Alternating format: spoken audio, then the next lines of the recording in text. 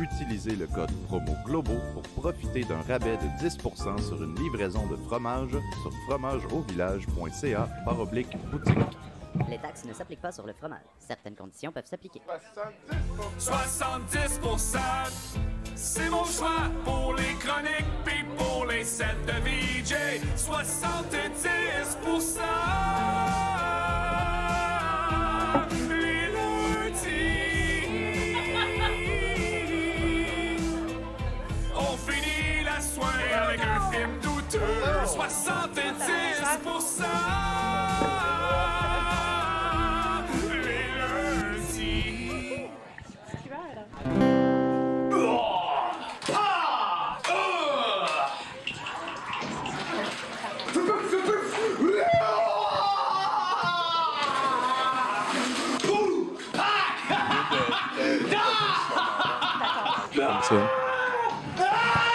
ça. Comme ceci. Hey, je sais que tu prends ton bain, mais tu viens-tu au brouhaha après? Non! Malade!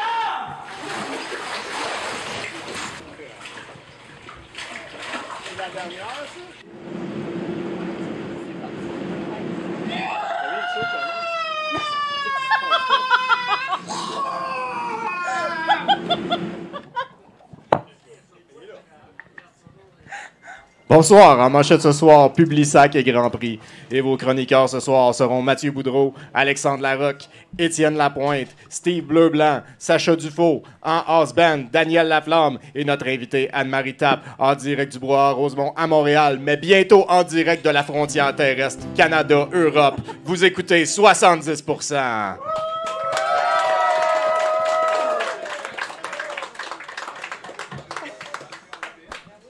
C'est terriblement attentionné de penser à moi et je vous suis reconnaissant d'avoir précisé que je ne suis pas là. J'avais jamais vu la lune aussi grande, j'avais jamais vu la lune aussi bleue et je vous remercie d'avoir acheté mes vieux souliers avant de m'amener ici. Je me demande qui a écrit cette chanson. C'est pas grave si le soleil meurt. Non, c'est pas grave s'il y a rien qui est à moi. C'est pas grave si je suis nerveux avec toi. J'érigerai mon amour en hiver. Bonne soirée tout le monde! Merci de nous accueillir. Wow! Merci beaucoup, Daniel Laflamme, mesdames et messieurs, qui est euh, un gars quand même passablement occupé, qui est venu passer la soirée pour faire la house band. Euh, on va pouvoir facilement sombrer dans l'autopromotion crasse tantôt.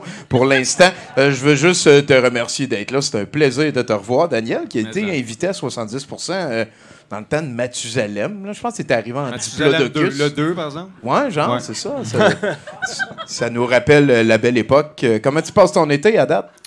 Euh, quatre enfants, facteur, euh, Émile Gruff, euh, manque pas de projet. Beaucoup de chapeaux à porter. Et voilà, c'est pour ça un facteur, hein, ça garde svelte. qui- Très svelte. Peut-être que je devrais essayer. Merci beaucoup d'être d'être avec nous donc pour la soirée.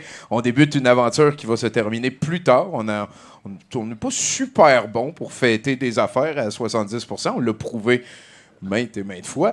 Euh, cette fois-là, on a comme vu la courbe arriver un peu d'avant et on a collé non seulement un spécial de la Saint-Jean aujourd'hui, ce soir, auquel Pascal euh, s'est prêté au jeu. C'est pas un québécophile euh, avisé, Pascal. Mais il a pris le set de VJ, a foncé dans, dans le taux, on pourrait dire. On devrait avoir du québécois. Et pour couronner ça tantôt, euh, c'est pas la première fois qu'on va diffuser Les Dangereux, mais c'est la première fois qu'on annonce qu'on diffuse Les Dangereux. Ouais. on, a, on a dépassé la date euh, limite pour qu'ils nous poursuivent. J'ai l'impression que Louis Saya, il est occupé ailleurs. Ouais, voilà. et que voilà. Avant, avant, on faisait comme un spécial euh, l'œuf ou la poule. Puis là, les gens pouvaient comme voter en ligne.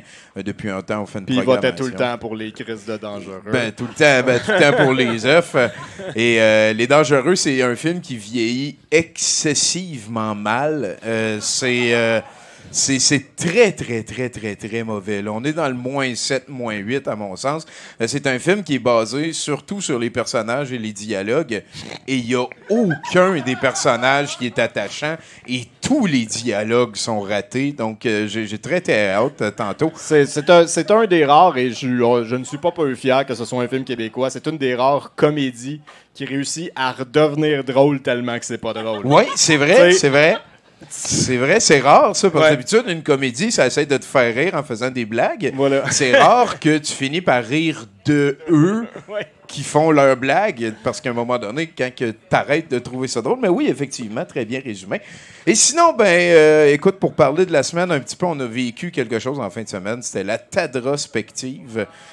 Et tabarnak, hein, on a streamé pendant 12 heures euh, les Greatest Hits de Daniel Tadros, toutes des, des puis de Eric Tadros un petit peu accessoirement, hein, qui a quand même dit la phrase vendez vos enfants, vendez votre chien pour acheter du Bitcoin. Euh, C'était en mars 2021. Cette année, en juin 2022, peut-être que les personnes qui ont plus d'enfants parce qu'ils les ont vendus. euh, Ils ont plus de bitcoin non plus. C'est ça, ils, ont- ils vont avoir regretté leur placement. Euh, Il est économiste, hein, lui? oui, ben, Ouais, ouais. euh, il a étudié en marketing, fait que ça lui permet d'être bon dans tout. Ouais, c'est bon ça. hein, Moi aussi, j'ai fait ça. Ben voilà, tu pourrais toi aussi donner ton opinion sur le vaccin et les, les bitcoins. Euh, et il y, avait une phrase que Daniel Tadros a dit, on se rappelle ces classiques comme euh, euh, YouTube est bien meilleur que n'importe quel professeur pour vos enfants. Euh, il a dit aussi qui- ce qui est encore euh, hands down la phrase la plus conne que j'ai entendue de ma vie. Euh, il dit sur YouTube, il dit defund science. Oui. Ça, c'est quand même blindé sur YouTube, que ça passe par une technologie militaire, satellitaire dans l'espace, puis tout, avec du courant alternatif, toutes les personnes qui écoutent son message, puis lui qui le parle. Écoute, c'est hallucinant. Non, il veut pas qu'on perde les anciennes découvertes. Il veut juste qu'on arrête de découvrir. On est arrivé, là. C'est ça. On peut-tu arrêter de On découvrir peut-tu des arrêter nouvelles le affaires? progrès, là? Moi, Ouais. je suis content comme ça. Oui, la science marche pas, qui Voilà. C'est en utilisant le pinacle de la science. Il y, avait, il y a une phrase que j'avais oubliée qu'il avait dit et qu'on a redécouvert pendant cette fin de semaine, ce marathon. Et, et c'est on a besoin d'un Hitler positif. Pardon? Et, et C'est mal, j'aimerais ça, c'est je- mal formulé, hein? C'est un petit peu moins, mal là. formulé, ouais. Du moins. Donc, euh, en tout cas, euh, peut- peut-être peut-être qu'on pourrait chercher autre chose aussi, Daniel, comme, je sais pas, décrocher, mais c'est N'importe quoi d'autre. D'autres choses qu'un Hitler positif? Un qui Ouais. tuerait juste les bonnes personnes. là. tu sais, pour, les bonnes- ouais, pour les bonnes raisons. Pour les ben, bonnes raisons, voilà. effectivement. Et ça m'amène euh, à vous euh, parler avant d'aller voir euh, notre invité, hein, parce qu'on va bien entendu commencer avec, euh, avec un 70% rempli de chroniqueurs et du reste. Mais euh, je veux vous parler le 9 juillet qui s'en vient. On va faire un gala du Mercronspi. Ça va être le premier. On va essayer de remplir la salle. Il y a des personnes qui m'ont écrit, parce qu'on a mis dans l'event code vestimentaire, tenue de soirée, de gala. Soyez créatifs. Tu sais, c'est. Mettons, euh, si tu veux mettre ton costume de Klingon que tu sors juste à l'Halloween, moi, je vais m'habiller en druide nécromancien, là. Si, si tu as une belle robe que tu mets jamais, c'est le temps. Puis si tu veux mettre le, le linge que tu avais à job aujourd'hui, Tu peux. ça va être correct. ça aussi. va être correct. Il n'y a personne qui va se faire virer de bord parce qu'il s'est pas habillé en tenue de gala. C'est juste qu'on veut. Bon, ben, on verra, Mathieu. On en mettra dehors. C'est ça. Des marches. c'est- Fait qu'en tout cas, euh, privez-vous pas. Euh, ce qu'on veut, c'est stimuler la créativité vraiment plus que le reste. Puis ben, peut-être qu'on va faire un événement, là, comme Sam Grenier, il avait fait dans le congrès des ambassadeurs. Là, il, il accueillait tout le monde en avant de la caméra, puis là, il présentait la ronde de vos influenceurs, hein, euh, vos lanceurs d'alerte. Est-ce que ça se lance encore en juin 2022, des alertes comme il faut? Peut-être qu'on va pouvoir en parler avec notre invité, parce que, mesdames et messieurs, c'est Anne-Marie Tapp qui est avec nous ce soir! Fait que, euh, pis, Hey, hein? ben, euh, ben oui, t'es à Ben, 70% la grande ligue, pis tout, là, Hey, tout je le monde capote, te- je capote. C'est comme Noël. Ah ouais, ben oui. Qu- Qu'est-ce qui se passe de bon quand tu deviens religiologue? C'est quoi qui t'amène à devenir religiologue? Euh, ben, pour faire un résumé, c'est que moi, à la base, euh, comme plusieurs d'entre vous le savez, euh, je viens d'une famille croyante. Euh, on a été dans plusieurs types d'églises, parfois fermées, parfois ouvertes, parfois très ouvertes, parfois très fermées. Et, déjà, c'est particulier, ça, parce qu'une Vous famille croyante, c'est- fréquent, mais une famille croyante, curieuse, ça, c'est Oh non, il y en a pas mal. Il y en a pas mal. Quand la doctrine, ça fait plus ton affaire, tu changes de place. Quand OK. tu pognes un conflit avec quelqu'un qui est plus ancien que toi, tu changes de place. Euh, ça arrive souvent. Ancien que toi, il y a une espèce de, de verticalité encore oui, qui s'est il y a quand dans même une de Dieu. hein. hiérarchie dans le monde protestant euh, non dite. Là. Donc, euh, voilà. Donc, ça arrive à plusieurs familles de changer d'église au fur et à mesure de leur euh, vie de croyants. Et moi, j'ai juste décidé d'intellectualiser cette croyance-là plutôt que de la vivre pleinement parce que je voyais, bon, il y avait des trucs que je comprenais pas ou des trucs que je me disais, ben voyons, la Bible dit quelque chose et son contraire. C'est quoi la vérité? Où est-ce que ça vient? Donc, j'ai décidé d'intellectualiser le tout et en même temps permettre t'as-tu Euh, l'impression que c'est un processus de commencer jeune sans l'appeler comme ça, genre? Oui, je Ok, tapais c'est ses cool. nerfs des gens euh, déjà très jeunes, les anciens me rencontraient, là, puis... Posais trop de questions. Ben, un hein? petit peu. Ouais. Ouais. C'est c'est quoi le poisson dans lequel on peut passer trois jours? genre? Non, non, ben non, en fait, c'est que je, je posais vraiment beaucoup de questions, entre autres. euh, puis juste pour donner un exemple, on parle de, de Paul dans la Bible. Tu sais, puis on dit, oh, il y avait le don de célibat. Puis après ça, on dit, oh non, il était eunuque. Puis là, ben, il n'y a pas le don de célibat, il peut juste pas se. Ah, il y a juste pas. Toi, t'imaginais l'entrejambe de Paul, puis il manquait quelque chose Mais pour qu'il y ait eu le droit de dire J'ai fait ça toute Ouais, ma vie, ouais. oui.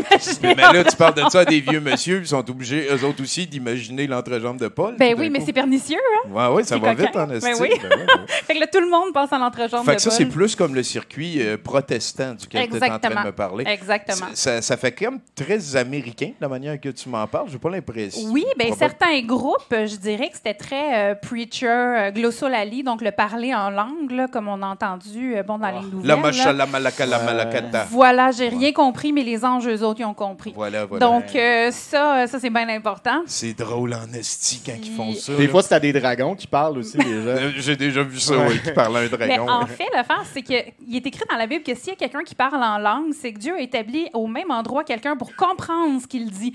Mais ça, il n'y a jamais d'interprète. Ça, c'est la partie qui n'est pas retenue quand il y a quelqu'un qui parle en langue. Ah, ouais, hein. Ouais, c'est ça. Il y aurait quelqu'un qu'il faudrait qu'il sache. Puis c'est pas nécessairement la personne qui le dit, là. Tu sais, ça prendrait un interprète euh, Ouais. blue-blue euh, français, là. Donc, donc là, tu as trouvé ta curiosité Oui. euh, au- avec tes parents, avec ta famille, avec tes proches, avec Exact. ce que tu étais un petit peu imposé à vivre. Tu as comme pris Mhm. le contrôle en essayant d'intellectualiser un petit peu tout ça. Mais à date, on parle juste euh, du bon vieux judéo-chrétien. là. T'as- Quand tu es religiologue, c'est un petit peu plus large que Oui, ça. oui. Ben, il y a une différence entre euh, religiologue et théologue. En fait, la, la, la religiologie, c'est vraiment la science des religions. Donc, c'est de l'anthropologie, de la sociologie, de la philosophie, du féminisme des religions, euh, l'histoire des religions. Il n'y a pas de question de foi là-dedans. C'est vraiment une question scientifique d'observation des faits. Fait que c'est ça que je trouve le fun. Ben oui, oui, je comprends. Je comprends. Ça, ça s'intellectualise mieux aussi si tu es plus à comme travailler des concepts que de travailler des, des, des thématiques imposées comme euh, Paul, il n'y a pas de chenol entre les jambes, fait qu'il faut qu'on implique ça dans l'histoire, genre. C'est pas mal ça, oui. Ça. Ok, tout le monde, on ça, imagine là, mais- l'entrejambe de Paul un instant. Mais ça doit être pratique parce qu'il était en toge puis il n'y avait pas de bobette dans ce temps-là. Je peux aller voir. Ça doit ramasser comme le chemu avec le Ah, sable puis tout. Hein, c'est- Mais pas Paul! Non, Mais non, pas Paul, Paul! Il avait fini, le don là. de célibat. C'est ça, Paul, lui, il avait pas besoin de ce problème-là. Je, je l'aurais peut-être pas dit même. C'est pourquoi est-ce qu'on coupe encore des prépuces des jeunes hommes en Amérique du Nord? Ben, ça dépend des croyances. Il faut que le, le, septième jour, on coupe le prépuce parce que, bon, c'est la journée où Dieu s'est reposé, nan, nan, nan, puis on enterre ça dans la terre. Mais si on le fait plus vieux, ça peut être une question d'hygiène, ça peut être une question de croyance, ça peut être une question de plein de choses. Moi, moi je pense que un des livres euh, qui est le plus impliqué dans les discussions qui parlent d'homosexualité, c'est la Bible. Puis je pense que la Bible, c'est aussi le livre qui parle le plus de prépuces que j'ai jamais vu de toute ma vie. Combien de livres de prépuce t'as lu? What's up with that?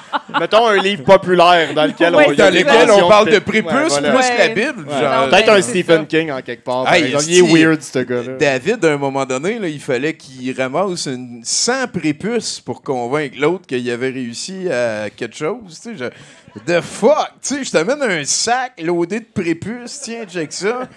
T'es sûr que c'est des prépuces qui viennent de ceux que je parle? Attends un peu. OK, c'est de la bonne qualité de prépuces, ça. C'est...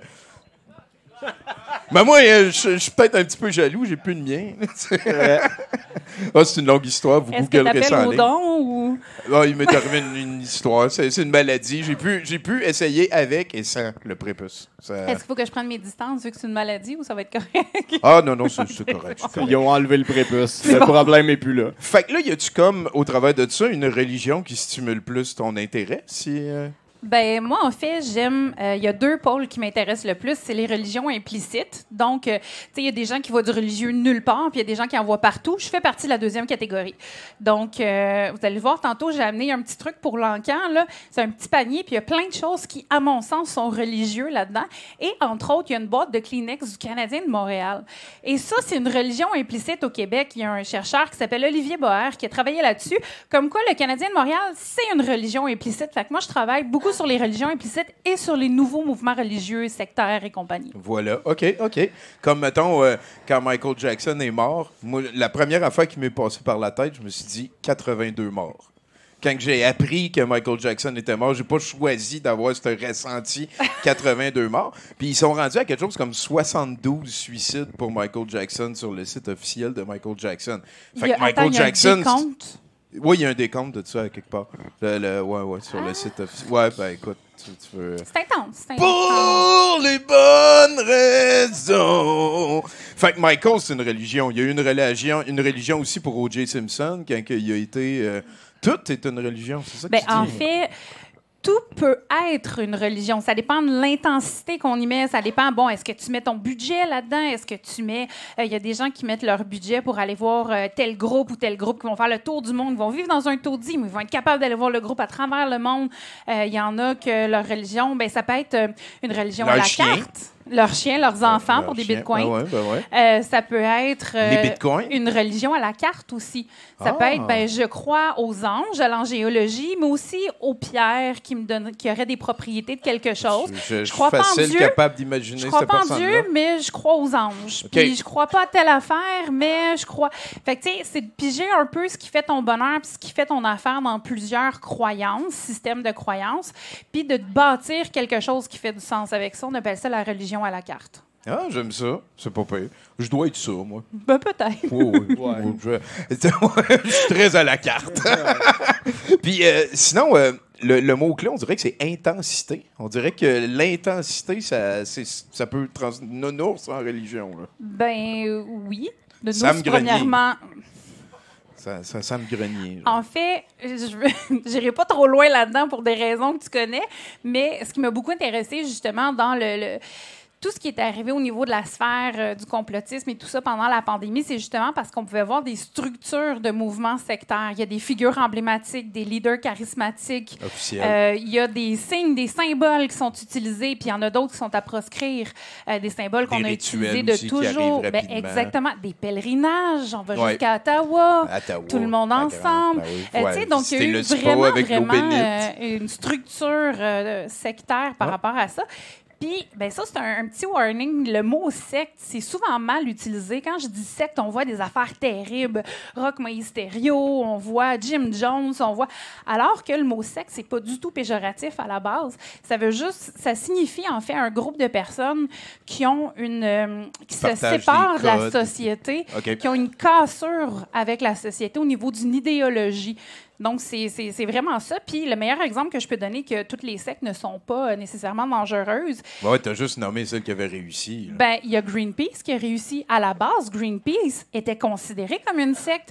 Imagine, c'est un groupe de gens qui pensent que l'environnement, il faut se plier à ça, qui vont jusqu'à faire des actes extrêmes pour le faire comprendre au gouvernement. Puis maintenant, Greenpeace est partout à travers le monde. Mais à la base, c'était un mouvement sectaire qui avait une idée qui dérogeait des valeurs de la il y a société structure. OK, OK. Fait que, tu sais, c'est pas toujours négatif, Ben là, non, une ben. Il n'y a, rien qui est toujours négatif.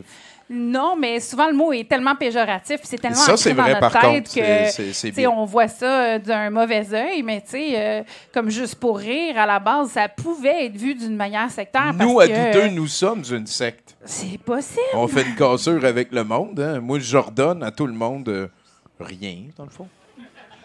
C'est Bruno qui décide. dans- Le strict minimum, c'est ça que c'est donnes à tout le monde. Ah oui, c'est vrai, je- 70%, oui, c'est vrai. Pas plus.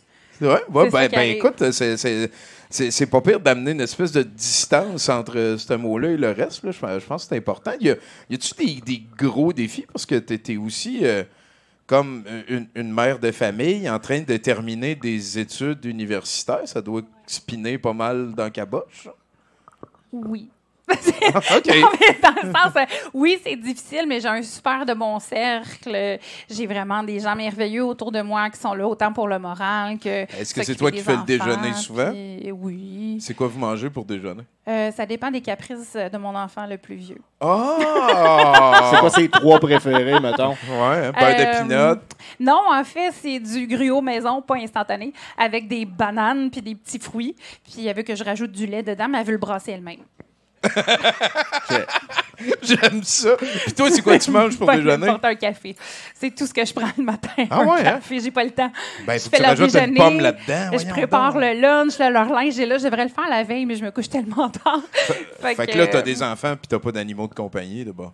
J'ai deux enfants, comme je te disais. Puis- Mais t'as pas d'animaux de compagnie, c'est assez, là. Y a pas un poisson rouge à quelque non, part non, il une serait mort. Mais, mais, mais j'ai des cactus. Ah, ben ça peut compter, ça. Tu leur as-tu donné des noms? Oui! c'est quoi les Ben, noms de ils ont des noms en lien avec leur, leur, leur chevelure, parce que pour moi, c'est leurs cheveux. Ouais, OK, c'est bon. Ça commence bien, c'est Fait bon. Il y a Hélène, il y a Adélaïde, il y a Boris, mais là, Boris, c'est comme deux boules, puis il y en a une plus petite, puis elle est en train de ratatiner. Ah, Il y en a vraiment Euh, beaucoup. sinon, il y a là. Isidore. sinon, mais Ben, continue, je pensais qu'il y en avait deux. j'en ai 12. C'est quel ton préféré? Oh, j'aime bien Boris. Il, Ah! il a de l'air fragile, puis, puis il pique pas tant que ça. Tu peux le flatter entre les pics. puis Ben écoute, Anne-Marie, merci bien gros de, de, de venir passer 70 avec nous. On verra si t'as pas un spectacle ou un album à nous vendre tantôt. Il est jamais trop tard. En attendant, est-ce que tu joues à Magic? Euh, non, j'ai essayé par contre. Je me suis fait expliquer deux fois comment ça fonctionnait. La première fois, les deux personnes avaient plus de passion que de vocabulaire pour me l'expliquer. Ouais, ouais. Puis la deuxième fois, c'était la même affaire. Là, ils m'expliquaient les différents decks, puis là, les couleurs. Puis waouh, c'est intéressant. Puis je comprenais fuck all. Fait que j'ai essayé, mais les gens étaient trop passionnés pour pouvoir mettre des mots sur leur passion. Fait que j'ai un peu laissé ça de côté. OK, OK. T'as, t'as essayé. mais- Fait que la réponse, c'est non. Non, mais j'ai des cartes. Mais je joue pas. Wow. On va checker ça. ouais. C'est comme un, un de dépa- Non, non. Ah. non. C'est pas grave, le je suis fun, pas hein? déçu. je suis pas déçu.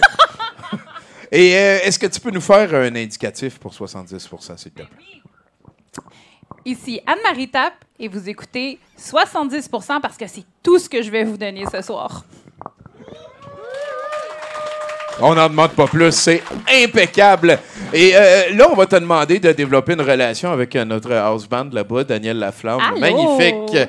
Est-ce que, est-ce que, tu sais, puis là, je vais lui demander une fois, là, mais est-ce que tu peux, s'il te plaît, nous amener vers le prochain chroniqueur, s'il te plaît? Ça va être Bruno qui va parler. Ben oui, moi vous jouez du Sid Barrett en français. J'ai un bicycle, tu peux le conduire si tu veux. Il y a un petit panier, il y a une petite clochette, il y a tout ce qu'il faut pour qu'il soit bien beau. Je te le donnerais si je pouvais, mais je l'ai emprunté.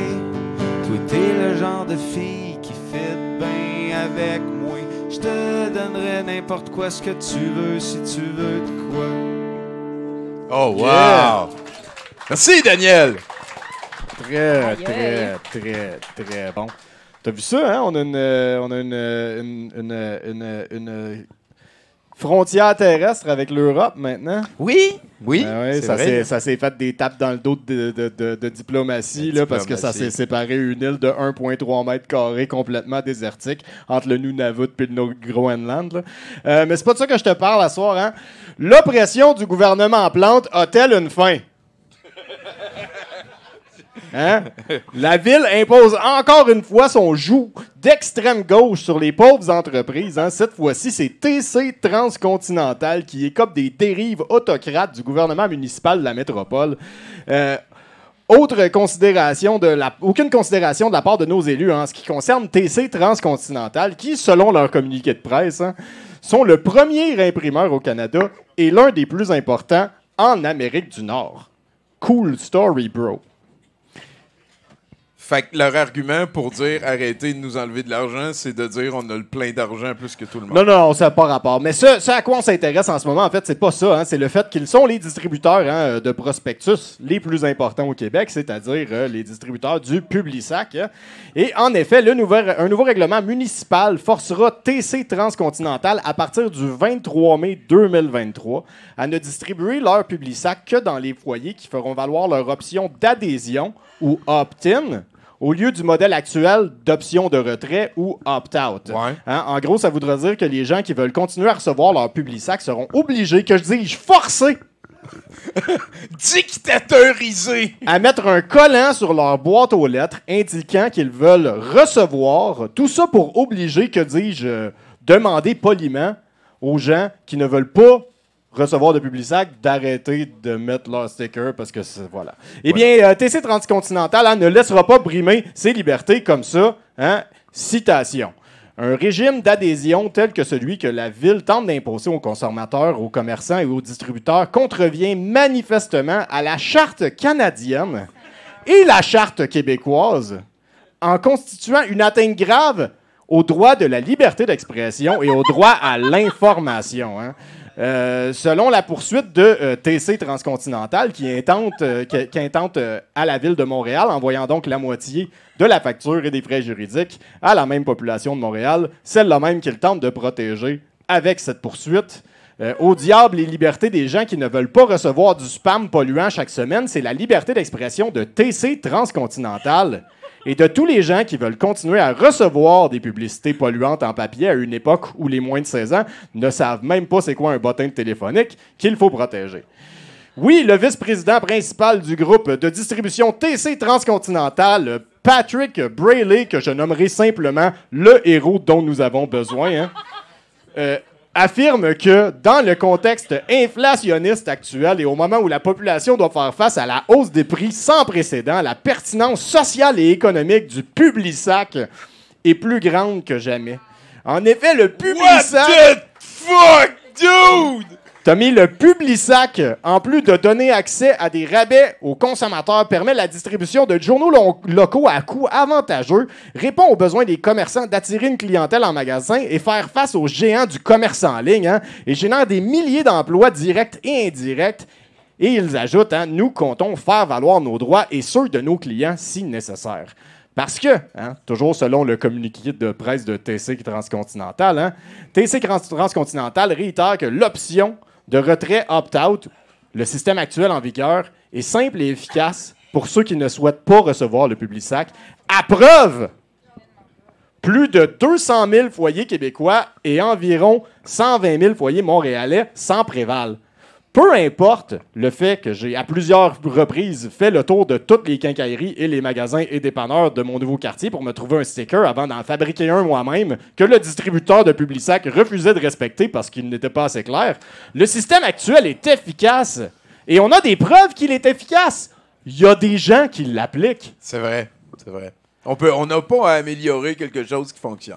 La ville de Montréal, en plus, hein, estime qu'environ 53 me- des Montréalais vont adhérer. Si les stickers étaient difficiles à trouver pour un opt-out, imagine pour un opt-in quand 53 des foyers montréalais devront ajouter un collant à leur boîte aux lettres, les forçant à exprimer leur liberté d'expression positivement au lieu de l'exprimer négativement. Il va falloir les informer du règlement, qu'ils sortent de chez eux, qu'ils fassent le tour de tous les, magasins pour finalement trouver un collant à mettre sur leur boîte aux lettres. Les circulaires, c'est- c'est un droit inaliénable. Combien de libertés d'expression devront être brimées avant qu'on l'apprenne? Allons-nous sacrifier, Colin? Mais au moins, Bruno, c'est une imprimerie, fait qu'ils vont pouvoir en imprimer. Toujours selon TC Transcontinental, les coûts de communication marketing pour convaincre les citoyens de rester dans le système de distribution seront énormes. Si seulement TC Transcontinental avait un moyen publicitaire pour convaincre les citoyens de rester dans leur système de distribution, j'imagine un sac là, dans lequel on peut mettre des publications. hein. Appelons ça un pamphlet poche. Ben, si TC Transcontinental avait un tel pamphlet poche, hein, euh, qui distribuerait à travers la province, et disons euh, un an pour avertir les gens du changement. hein. Et si ils étaient déjà un imprimeur, disons, le premier au Canada et l'un des plus importants en Amérique du Nord, hein, ce qui leur permettrait d'imprimer eux-mêmes leurs stickers à coût moindre. ils pourraient au moins rejoindre les gens qui font partie de leur route de distribution en les informant que s'ils veulent continuer à recevoir leur pamphlet poche, hein, ils doivent coller le collant sur leur boîte aux lettres.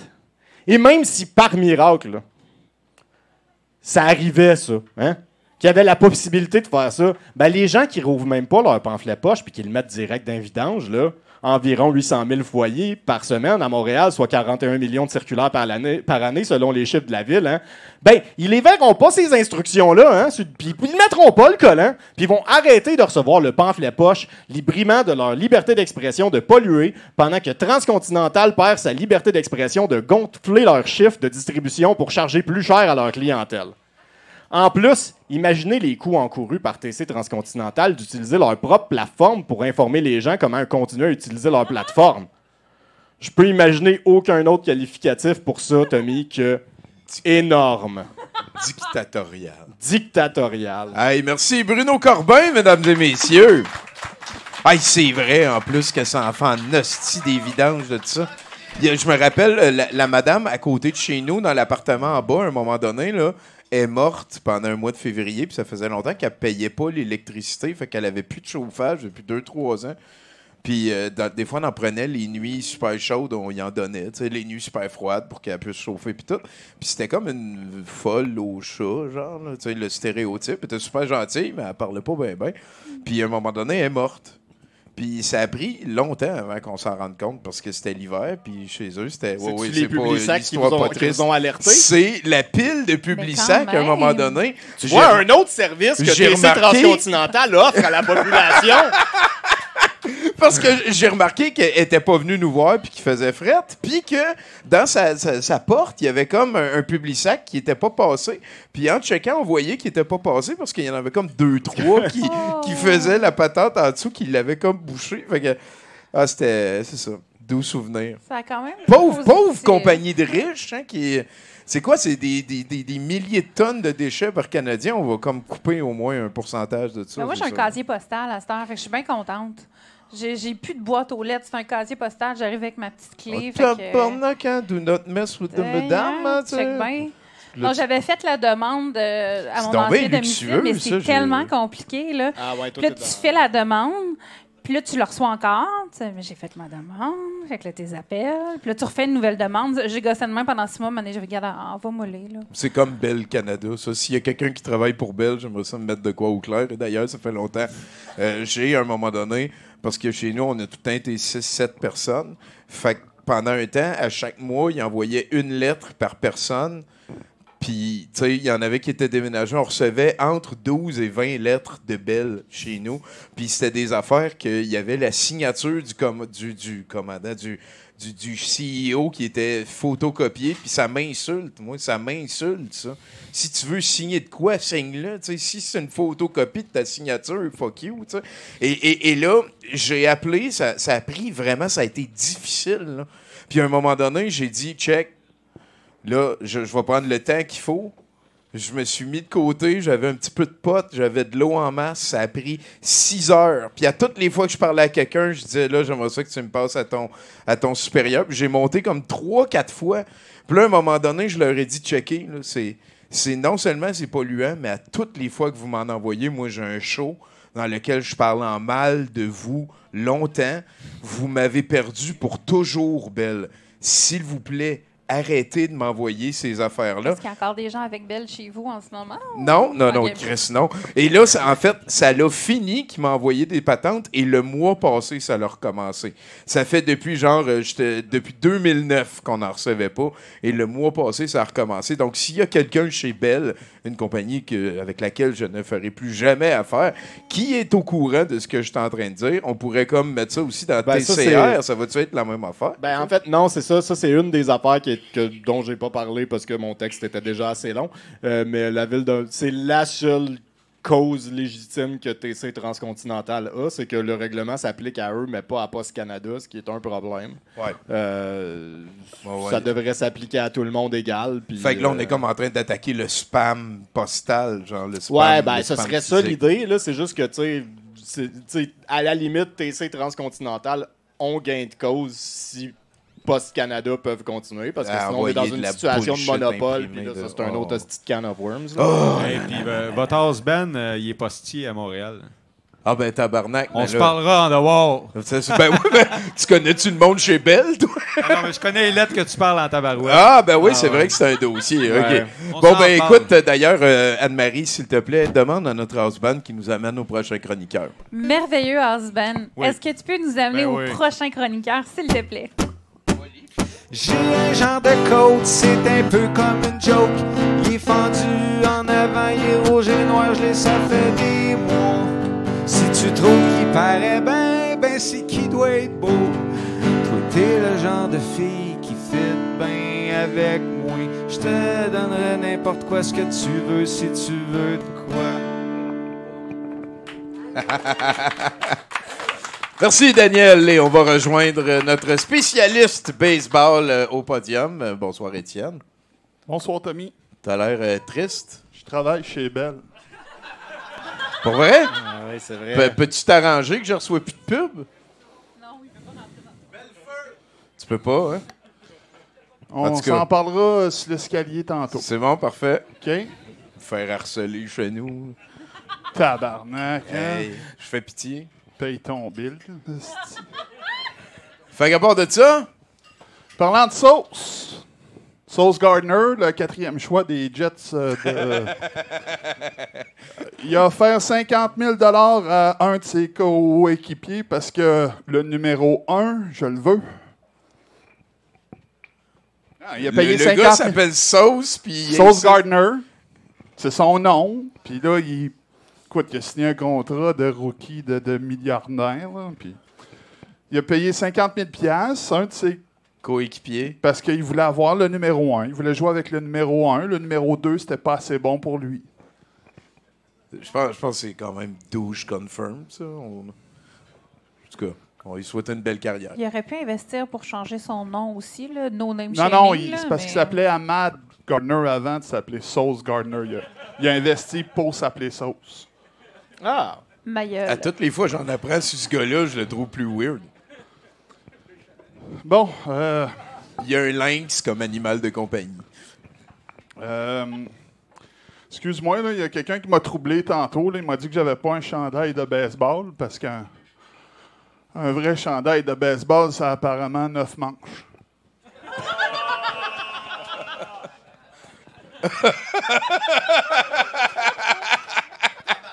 Hey, applaudissez Ah, Étienne, là. il a- Wow! Wow! Ça t'a fait du bien de te faire bencher, toi? Oh oui, écoute, écoute, écoute, écoute, écoute. Euh, parlant, euh, savais-tu ça, toi, que le, le, le coup mortel au disco est arrivé entre deux games de baseball? Le 15 juillet 1900... J'ai l'impression qu'un peu tout dans l'histoire moderne est arrivé en deux Selon les de Bee. Gees, selon les Bee Gees, c'est- c'est c'est un DJ euh, radio de Chicago, un monsieur euh, Steven Dahl, qui a un podcast de bonhomme blanc, là, qui écoute d'autres bonhommes blancs chialer. là. Mais lui, à cette époque-là, tu sais, il travaillait dans un- une radio, puis ils l'ont crissé dehors parce que lui, c'est un spécialiste de rock. Puis euh, la station de radio a décidé qu'elle devenait une station de radio disco. Fait que le gars du rock, ben. Ah, c'était la guerre station, dans ce c'est temps-là. ça. Ouais, c'était pas Fait qu'il est allé travailler pour une station de rock, puis il s'est mis à sortir des slogans du genre Disco Sox, puis Disco Die, puis il faisait des événements. Puis à un moment donné, il est arrivé jusque les White Sox. Il y avait un programme double. Puis là, le fils du propriétaire, puis il faut comprendre que le propriétaire des White Sox à l'époque, c'était un vieux monsieur un peu excentrique à qui on doit, entre autres, les tableaux de bord explosifs avec plein de feux d'artifice. Exactement, Bill Vick, merci. J'avais le nom dans mon cellulaire, mais ça ne me tentait pas d'aller le chercher. Mais on voit que je ne suis pas le seul à accès à Wikipédia. Mais Bill Vick, quoi. Entre autres, Bill Vick il a fait jouer le plus petit joueur. Il a fait jouer un nain pour une apparition au bâton pour dire J'ai fait jouer le plus petit joueur de baseball. Eddie- Je vais pleurer. C'est-tu toi l'expert baseball de 70% finalement? Fait que bon, il y a un programme double. Il y a un programme double entre Euh, les Tigers de Détroit puis les White Sox, on s'en calisse. Ça, ça, je veux juste parler de ça un petit peu. là. Un programme double, c'est quand que une game de baseball, c'est pas assez trop long. Ils en font deux la même journée, une en arrière de l'autre. Ben, D'habitude, ça l'arrive quand il y a eu genre de la pluie. Ouais. Puis là, la game de lundi, on va la rejouer dimanche en même temps que l'autre game de dimanche qu'on joue dans l'après-midi. Ouais. Qu'en qu'on joue pas dans la pluie quand même. Non, on joue pas dans la pluie. On joue pas dans la pluie. Puis d'ailleurs, la pluie ne fait que remettre des matchs de baseball, sauf celui-là, ce soir-là, le deuxième. Ça a été le dernier match de baseball à avoir été forfait. Il n'y en a jamais. Excuse-moi, il m'émeut. jamais avoir été rejoué. Ah, yeah. L'équipe a dû dire non, on perd 9-0. Tu sais, c'est- Fait que ce qui est arrivé, c'est que Dahl, il a, il a- il a fait appel à ses fidèles en disant amenez des 10 discos, puis on va vous laisser rentrer au stade pour 97 cents, parce que la station de radio, c'est 97 point quelque chose. d'habitude, les, les, White Sox, à cette époque-là, ils ont comme 15 000 personnes, c'est beau. Ils en avaient eu 5 000 la journée d'avant. Puis là, le propriétaire, il fait comme, non, d'après moi, il va avoir beaucoup de monde. Fait qu'il engage la sécurité pour 35 000. Il y a 70 000 personnes qui se sont présentées au stade. Ils ne rentrent pas 50 000. OK, les gens, ils ont passé par les fenêtres à tel point qu'à un moment donné, ils ont eu la bonne idée de dire OK, là, on va prendre les gardiens de sécurité dans le stade, puis on va les envoyer à l'extérieur pour empêcher le monde de rentrer. Ils ont fait bloquer la sortie sur l'autoroute. En tout cas, le monde, ça voulait Les rentrer dans le temple du baseball, Tommy. Les meutes de gens qui voulaient venir péter un disque de disco. Ben, en fait, Steve Dahl, entre les deux matchs, ce qu'il a dit, c'est qu'on on va prendre vos disques, on va les mettre dans une grosse boîte, puis on va la faire exploser. Mais là, le monde, on remplit la boîte très vite. Fait que là, il y avait plein de monde qui se colissait du baseball, qui avait plein de disques avec eux autres, qui se sont mis à pitcher ça, ces joueurs. Ah, tabarnak! Écoute, les joueurs au champ ont décidé de porter leur casque de protection de bâton parce que tellement il y avait des. Pas juste des Ah, puis ça disques. peut aller loin, un disque. Oui, oui, oui, oui, oui. Ça, Il ouais. n'y avait pas juste des disques, là, il y avait des bouteilles de gin aussi qui étaient Ah, Ah, lancées. ben, ah, ok, ouais. Parce qu'on sait vivre quand on était à la gang. hein. Ouais, a c'est ça, C'est à. Chicago, hein? Oui, Ouais, c'est ça. c'était à Chicago. Ouais, Au- mais c'est pas en au, Floride. au Comiskey Park.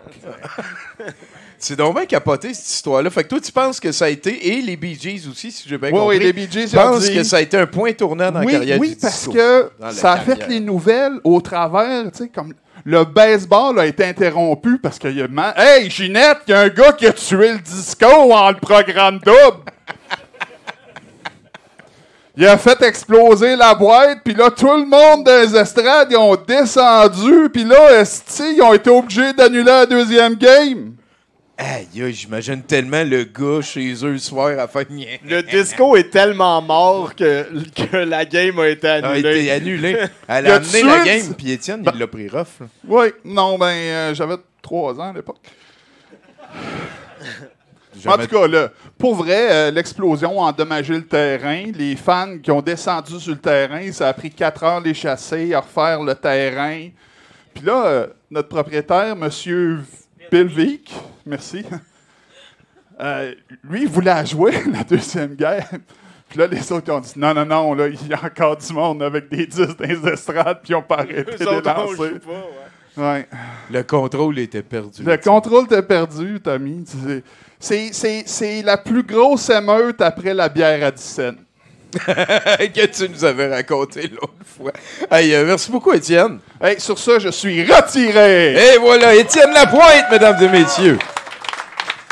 Et là, là, là, là, tu vois, on parlait de religion euh, implicite, là. On est pas mal là-dedans Ça avec, le, une pas avec le baseball. Oh, oui. C'est l'intensité. Le disco aussi. Ça Ouais, ben, ou la haine du disco dans ce Ouais, cas-là. L'amour aussi et le disco, les deux. Peut-être. Ça se fait-tu des religions qui sont à la base anti quelque chose? Oui. Ben oui, à la base. Ce que a- j'aime, c'est l'absence de Dieu. Ben, peut-être qu'être euh, athée, c'est ça? Ben, en fait, l'athéisme, c'est une forme de religion. S'il y a du prosélytisme, s'il y a du. Oh oui, l'athéisme, ça peut tout à fait être Ben, une surtout religion. que tu prends les mêmes arguments que l'autre pour décider du contraire de l'autre. Quand ta religion est basée sur le fait je crois que je ne crois pas, mais c'est ça. E- Est-ce que tu penses que Crum est réellement plus fort que le dieu des vents?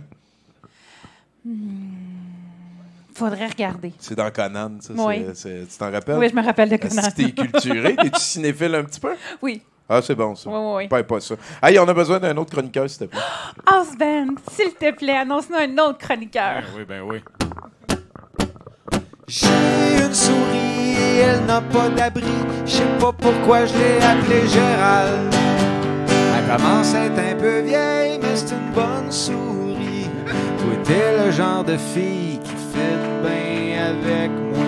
Je te donnerais n'importe quoi ce que tu veux si tu veux de quoi. Wow! Vois-tu, j'ai un cactus qui a pas de nom encore. Ça va être ça son nom. De toute beauté. Merci beaucoup, Daniel. Euh, On va rejoindre ici euh, le fantabuleux euh, Pierre. Comment ça va, man? Ça va bien, ça va bien, Tommy. le, le squad Bellemare. ici. Oui, oui, un représentant de la, de, de- oui, la de- fratrie Bellemare. La fratrie Bellemare. Ben oui, ben oui. Ouais, Quoi, euh, ouais. quoi de neuf, là? Euh, écoute, euh, euh, ce soir, euh, exceptionnellement, je vais faire une euh, parenthèse sur euh, mes chroniques sur danger. Oui. Hein? Parce que suite à une euh, conversation sur le parvis du temple, ici, euh, euh, de l'autre côté de la porte, avec mon ami Étienne, oui, avec mon ami Étienne, euh, écoute, euh, euh, et on aura conclu que la- l'avenir était euh, dans l'humour. hein? Alors, pour le remercier, si on veut, de, de, de, de- de- de m'avoir aiguillé vers le chemin de la gloire, la fortune, euh, la suffisance et l'ironie. Euh, euh, et pour euh, euh, le consoler de sa déception de ne pas avoir reçu un vrai chandail de baseball, je tiens à lui offrir, c'est de bon cœur, un authentique chandail de golf. Oh! Ouais. Le seul problème, c'est qu'il y a 18 trous. Yeah! Oh!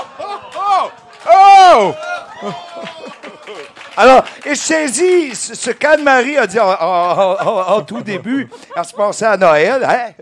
Donc, c'est un cadeau qui dit à l'autre à Noël. C'est le fun, Noël. Tu check ça, tout le monde est emballé. tu sais. Et puis, euh, on a aussi entendu parler euh, Étienne qui, qui- qui- qui- qui- qui a mentionné un nain tantôt. hein.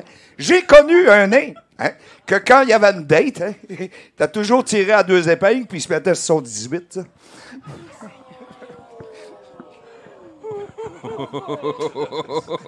On les salue. On les salue. Oui, on les salue. J'étais allé d'ailleurs dans une euh, maison de, de, de personnes âgées hein, à un moment donné, puis là, je demande au gars là-bas, je dis, vous autres, euh, ici, euh, le sexe, tu sais. ah, je dis, oh, ici, le sexe, euh, sexe oral, tu sais. Ah, ouais. Il dit, ah, oui, on en parle, tu sais. Seigneur. Alors donc, c'est ce gars-là qui rentre dans un bar à un moment donné, puis il s'en se dirige vers le bar, puis le barman est de l'autre côté, puis le barman, il dit, il dit, euh, qu'est-ce que tu prends, tu sais? Dit, je vais prendre un scotch, tu sais. Que, OK, il sert un scotch. Le gars, il prend son scotch tranquillement, puis il finit son verre, puis il met le verre sur le comptoir, puis il se dirige vers la porte, puis le barman, il dit, non, non, il faut payer, tu sais. Il dit, ben non, je paye pas. Je paye pas. Ben dis-moi, il dit, quand, quand je demande à quelqu'un qu'est-ce qu'il prend, il dit, euh, je le fais pas payer, tu sais. Fait que là, le barman, ouais, plate, lui, là, il trouve pas drôle pantoute, mais ça reste comme ça. Le gars revient le lendemain. Fait que quand il se dirige vers le bar, ben là, le barman, il parle pas, tu sais. fait que euh, c'est le gars qui dit, euh, je vais te prendre euh, une, euh, une, une langue de porc dans le vinaigre. C'est très populaire des fois dans cette. dans pas cette- ouais, dans- avec une. Bon, il dit, je vais te prendre une langue de porc dans le vinaigre. Fait que, OK, il donne ça, puis tu me donnerais un couteau aussi avec ça. OK. Barman, il donne ça, puis là, il se met à découper sa langue en petits morceaux, comme ça, dans l'assiette et tout. Puis, qu'est-ce que tu fais là? Ben, il dit, je suis en train de me préparer des appâts, tu sais, pour la pêche, tu sais. Il dit, ah, ouais! Franchement, il dit, puis ça marche-tu? Ah, oui, ça marche. Ah, me semble, qu'est-ce que tu vas prendre avec ça? Ben, il dit, je vais prendre un scotch.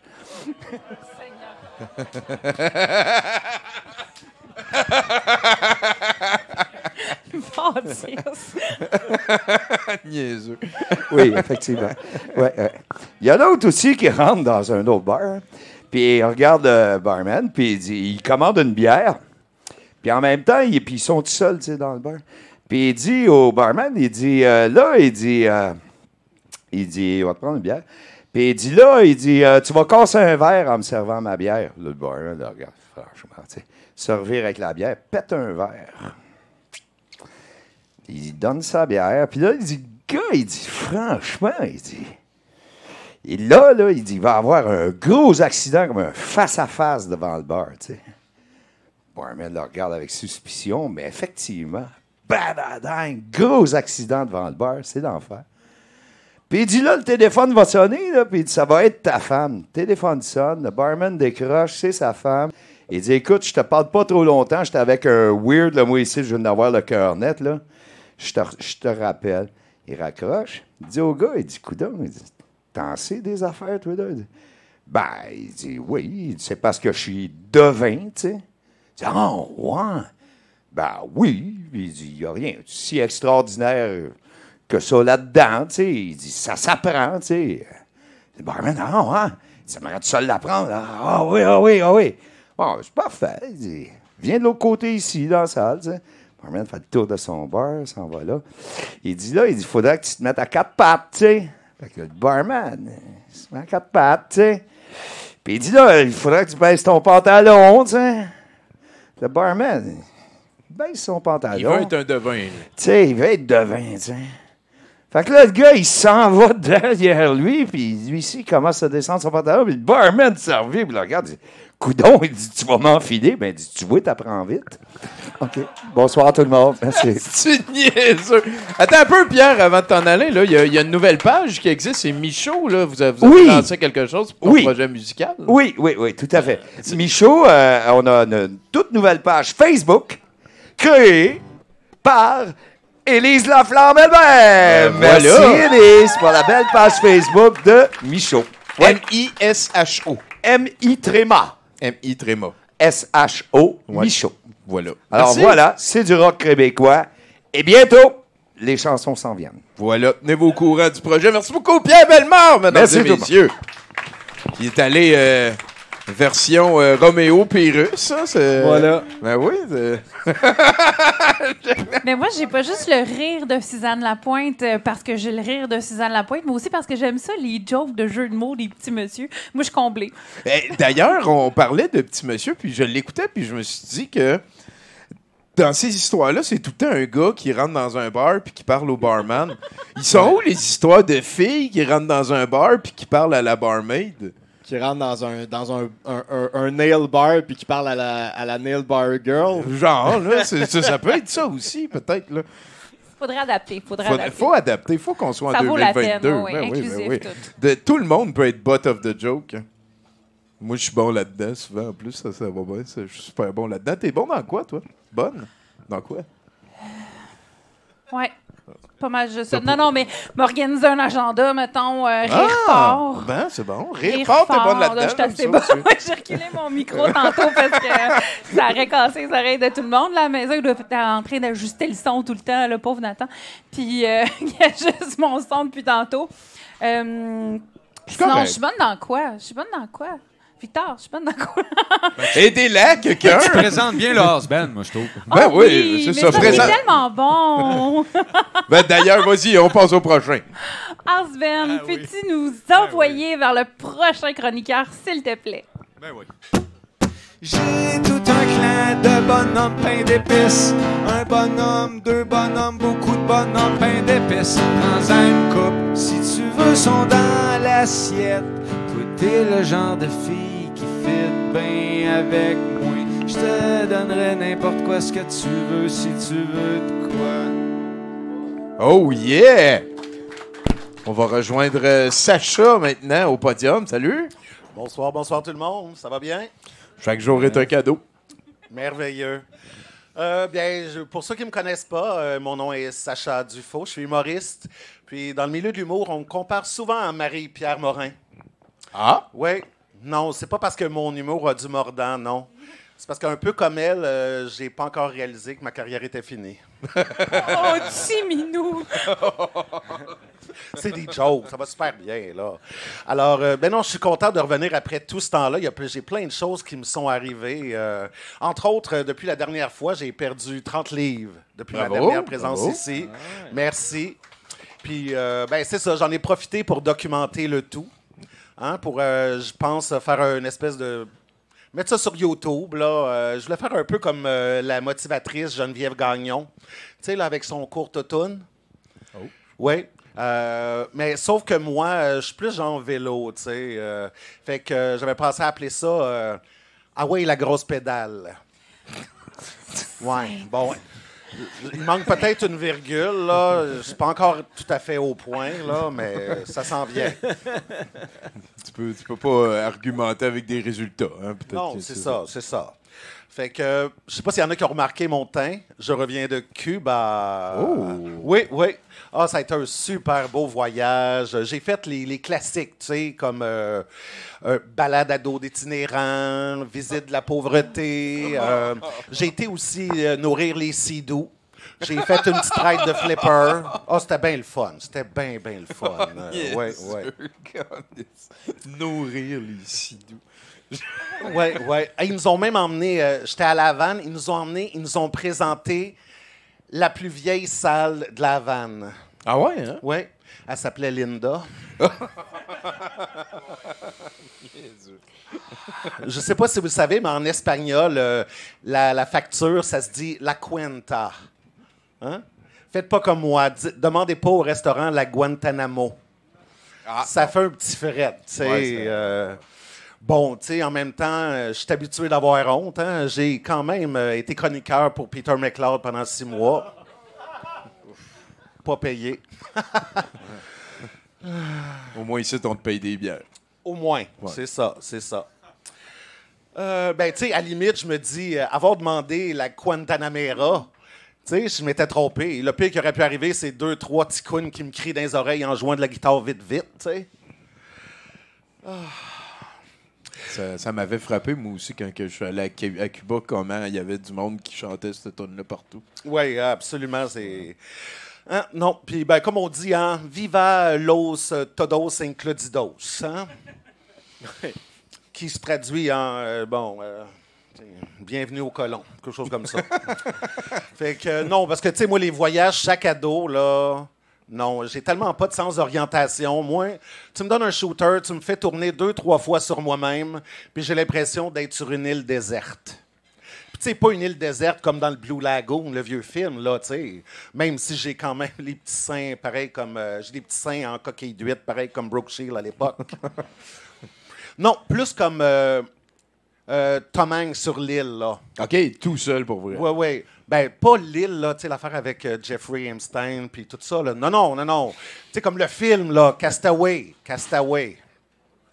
Tu sais, il y en a qui sont bons, là, avec euh, deux, trois brindilles d'herbe, euh, une roche, puis ils sont capables de partir un feu. Tu sais, il y en a d'autres, une liane, deux, trois branches, ils se font un abri, tu sais. Moi, tout ce que je peux faire avec ça, c'est un centre de table moyennement joli. Très moyennement. Ah, j'ai pas un gros instinct de survie. Moi, c'est clair que au bout de deux, trois jours, je serais mort. Parce que j'aurais mangé des petits fruits, là. Ça serait comme pas vraiment castaway. Ça serait plus diarrhée. Mais tant qu'à être, tant qu'à être pris sur une île déserte, j'aimerais mieux être seul. Ah oui, parce que moi, je suis sûr que ça finirait comme dans le film Le Revenant, là, tu sais. Il m'ouvrirait sur le long pour se cacher dans moi pendant la nuit pour se protéger des petits animaux sauvages. Ben, merci beaucoup. Bon été. Sacha. Merci, Bonnie. Bon été à toi aussi. T'es-tu une voyageuse euh, pas mal? Euh, j'ai pas mal voyagé avant d'avoir des enfants, oui. Ouais, c'est c'est où la place t'as eu le plus peur? Le plus peur au Venezuela, la nuit, j'étais en train de marcher. euh, c'était un peu apeurant parce que, bon, euh, veux, veux pas, euh, quand tu atterris à l'aéroport, bon, il y a déjà les gens qui sont là avec les armes et tout. Puis quand tu te promènes dans la nuit, des fois, il y a des gens avec des armes et Il y a tout. ça aussi. Ouais. Te débrouilles-tu en espagnol? Si peu, pas assez. Ah, ouais, pas assez. Je suis capable de demander un cendrier, une bière, de l'eau, une paille. Ben voilà. Euh, puis c'est pas mal tout. Les toilettes aussi, puis la Les banque toilettes. municipale. Ben, c'est pas mal. On a fait le tour. La On a- station? On a fait le tour. C'est quel ton Power Ranger préféré? Et moi, c'était la jaune. Ah, c'est pas pire, c'est bon. Moi, c'était la jaune. Kimberly, je la trouvais trop féfille. J'aimais pas ça. Puis c'est ça. t'avais-tu l'impression qu'il fallait que tu prennes une fille? Ou? Oui, Ouais. Oui, oui, beaucoup, beaucoup. Ben, Mais, quoi? euh, La jaune dans la version euh, japonaise, c'est un gars, par exemple. Ouais, non, non, pas là. Ça non. paraît dans le costume un peu, d'ailleurs. Non, Ben mais oui. je jouais à ça dans le sous-sol avec mon frère, par exemple, au Power Ranger. Wow, ouais. Voilà, ouais. On Ah, mettait c'est les bien divans à l'envers, on grimpait sur le bord, les divans, puis là, on s'attaquait, puis quand c'était lui qui était le méchant, je donnais un coup de pied sur le thorax, là. T'es donc bien jeune. C'est le même qui Moi, je me rappelle quand les Power Rangers sont sortis, je trouvais ça. moi aussi, Poche, je trouvais ça parce que j'étais déjà trop vieux. Non, mais j'étais un peu plus jeune que ça paraît pas, là. J'étais un peu ridée, mais j'étais un peu plus jeune que toi. C'est pas, c'est pas- L'important, c'est que tout aille bien. Là-dessus, d'ailleurs, euh, on va te demander un autre chroniqueur. Ah, c'est peut-être le moment de la tour. Je connais pas tout la musique est ben hot. Ça rime, ça change, ce sont des mécanismes. Allons dans l'autre pièce, les faire fonctionner. Non, je fais ma tune tantôt, t'es mêlant, n'est-ce Parfait, ben non, ben c'est bien non, non, je vais parfait. finir avec Sid Barrett. Après ça, euh, ouais, c'est ça. J'aime ça. Merci beaucoup, Daniel Laflamme. Ouais, je pense plaisir. que Daniel. on va accueillir Steve Bleu-Blanc au podium. Absolument. Si euh, je lis bien la salle. Hey, mon Steve. Ceci n'est vraiment pas une publicité payée par Jublant. Jublant, le seul produit qui peut tout faire.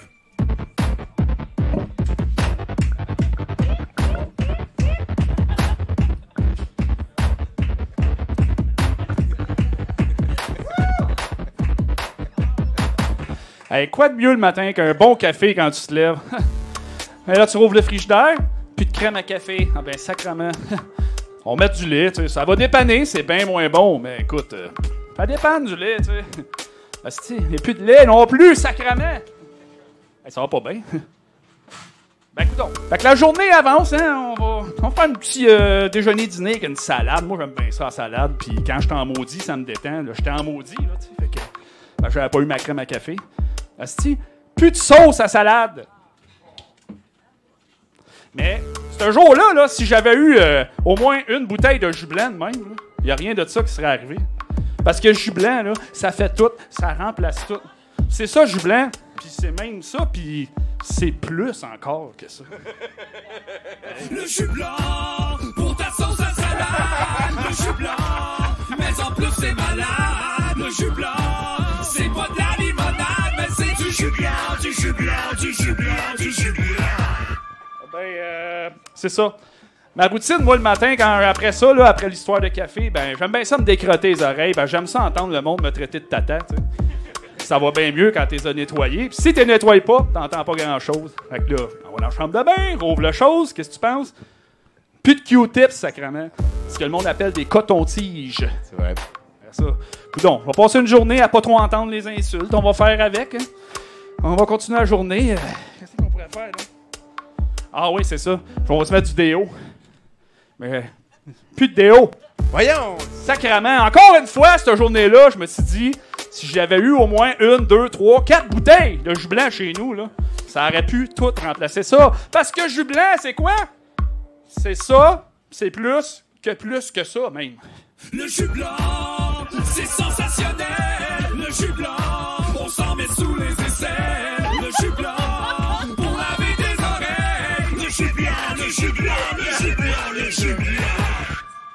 Ok, c'est ça. Fait que là, j'ai pas pu mettre de déo, parce que j'en avais plus. Là, faut que j'aille faire mes commissions, mais là, il me manque plein d'affaires. Ah, coudonc. On va mettre un beau chandail propre. Ah, si, il est tout sale. Faut que je le lave. Qu'est-ce que tu penses qui est arrivé? La laveuse perte. Bon, moins pire que ça. Un jus blanc remplace pas les laveuses, mais du savon à linge quand même. Fait que, coudon, j'ai pas pu laver mon linge, j'avais pas de savon à linge. Fait que, je ah, coudon. Au moins me brosser les dents, j'aurais pas une haleine de vieille baleine, tu sais. Qu'est-ce que tu penses qui est arrivé? C'est très dur à dire. C'est ça, vous êtes vraiment bon, hein, comprenez vite. On écoute. À trois, là. Mais c'est ça. Ce jour-là, je me suis dit, hey, si j'avais eu une caisse de jus blanc chez nous, genre, là, tu sais, puis j'aurais pas eu besoin d'avoir tous ces autres produits que je manque tout le temps, tu sais. T'en achètes un, ça fait tout. Ça fait la job, non? Le jus blanc, c'est vraiment épatant. Le jus blanc contient du javelisant. Le jus blanc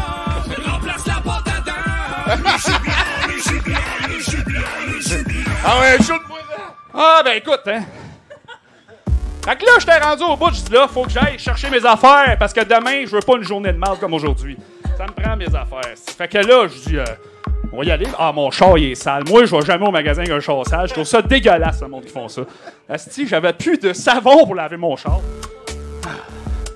Fait que moi, y aller avec un char sale, un gilet pas propre, pas de déo, les dents pas lavées, les oreilles crottées. Sacrement, j'ai pas mangé ma sauce sur ma salade. On y va. J'ai plus de gaz dans mon char! Mais si j'avais eu au moins une ou deux citernes de jus blanc chez nous, là, ben j'aurais pu, parce que jus blanc, ça contient de l'essence. Aussi, juste un peu, juste assez pour que ton char marche. Il y a beaucoup d'octane aussi, hein. Le jus blanc pour nettoyer ta voiture. Le jus blanc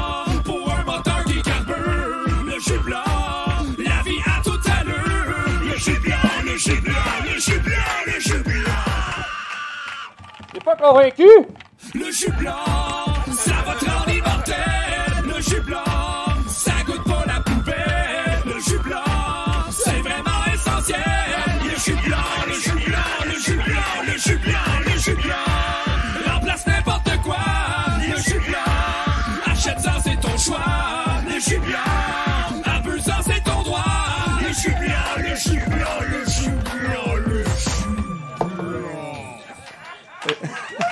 Est-ce que quelqu'un aurait le jus blanc, s'il vous plaît?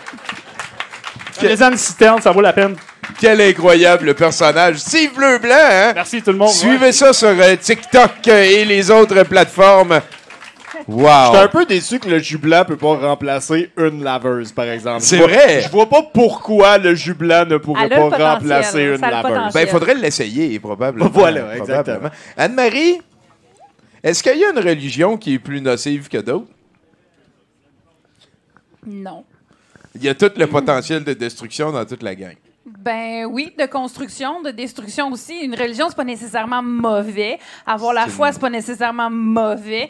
C'est vraiment quand il y a euh, des gens qui utilisent cette croyance-là où le livre dit sacré pour pousser d'autres personnes à, à faire des actes qui vont contre leurs valeurs ou contre la loi. Mais sinon, euh, À non, c'est très correct. euh, ouais, ouais. Ouais, c'est vrai. Comme, comme toute organisation humaine, dans le fond. hein.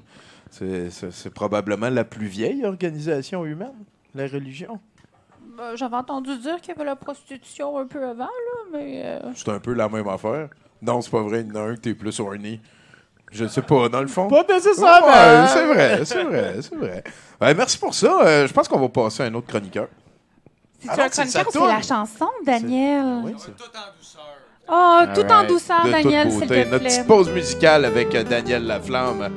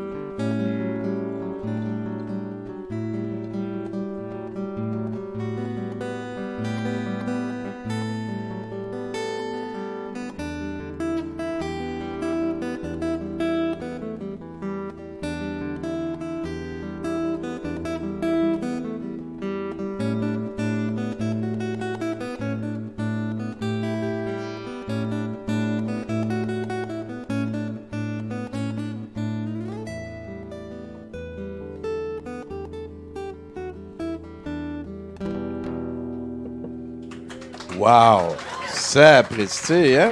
Merci. T'as-tu quelque chose à pousser? euh, ton site internet? Ou... Ben, Émile Gruff, c'est mon alter ego, en fait, mon personnage sur scène. Si vous voulez me suivre, c'est Émile Gruff. Euh, voilà. J'ai quatre enfants dans le jus effrayant. Mais je suis ici t'asseoir, j'ai bien du fun. Merci bien gros. Daniel Merci. Laflamme. Wow. Émile Greff, on va faire sûr de taguer ça. Dans la description, euh, je je pense que ça serait le temps d'avoir un autre chroniqueur. Je- T'en joues-tu une autre ou le chroniqueur, il s'en vient? Je, je sais pas trop. Qu'est-ce qui est en train de se passer? Ouais, je vous ai un autre, un autre petit jingle pour que l'autre chroniqueur s'en vienne. Va- Ah oui, hein? Ah oui, Oh, ben, ben oui. Ben, je- euh, J'ai oh. pris euh, flat foot, comme on dit. Mon pic est là. hein. La vache à Mayotte, au pire. Non. Alors, il s'en vient. J'ai bientôt 40 printemps et mes collègues sont étudiants. Pour eux, c'est un premier job. Pour moi, c'est un aboutissement. Je dépense beaucoup d'argent pour acheter des instruments qui servent pas tellement, vu que dans la vie, moi, je vends des instruments. De toute beauté, hein, ben oui. Avant de, de te passer la POC, je vois que tu es au téléphone, Mathieu. Je veux prendre un instant pour euh, remercier Paco LM, Paco l'amoureux Miron, qui est en train de faire une œuvre. hein. C'est notre artiste visuel. Merci beaucoup, Paco, de passer à chaque lundi. Donc, euh, Oui, ben non, mais c'est ça, Monsieur Angélil, ça marchera pas, là. Non, non. Non, monsieur, non, monsieur Angélil, non, mais c'est parce que. Principalement parce que vous êtes mort, oui. Hmm. OK. OK, ben, c'est, ben continuez à me laisser des messages, là, c'est bien le fun, OK? Hmm. Bye bye. Hmm. Salut. Calvaire, il te lâche pas, René? Non, il arrête pas. Veut faire- René Angélil qui veut faire un projet avec moi. c'est dommage. Hein? Mais ça marchera pas. C'est comme ça. Quelle aventure! Ah! 70% mesdames et messieurs. Me voici, euh, Mathieu, euh, un mélange entre Kurt Cobain et Jésus. hein. C'est-à-dire euh, que les gens m'apprécient même si je prends pas toujours ma douche. Comme ça. Kurt Cobain, on sait. Jésus, bon, historiquement. On s'en doute. On s'en doute qu'il prenait pas de douche. Bon. Il se faisait laver les pieds une fois de temps en temps. C'est pas mal tout. Chic body! sinon, sinon j'ai juste pris comme, euh, comme note, j'ai dit le jus blanc, moi je le fume.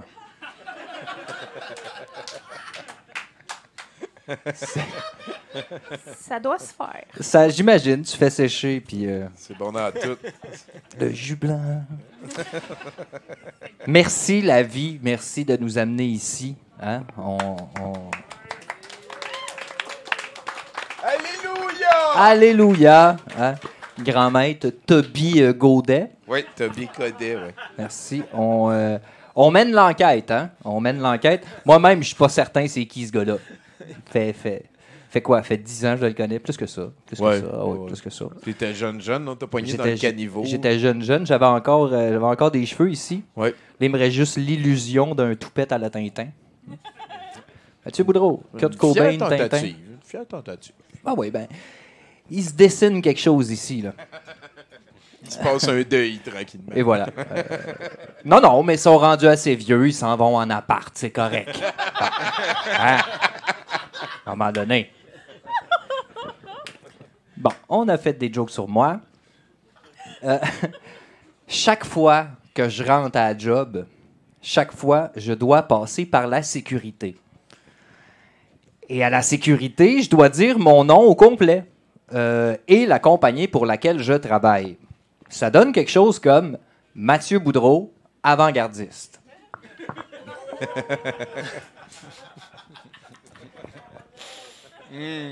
J'y travaille depuis décembre. Ça fait sept mois. Hier, le gardien de sécurité, celui-là qui est, qui est là depuis que j'ai été embauché, il me demande C'est-tu Boudreau ou Goudreau? Ah ben, tabarnak. Non, mais ça m'a fait rire. Parce Ben, parce que lui, quand je dis mon nom, il l'écrit à la main dans un registre. Fait que c'est quoi qui écrit depuis sept mois? Mathieu Boudreau? Boudreau. Un G, ça peut ressembler à un B. Il y a un point d'interrogation à côté. Il vit de l'anxiété, ce gars-là, c'est sûr.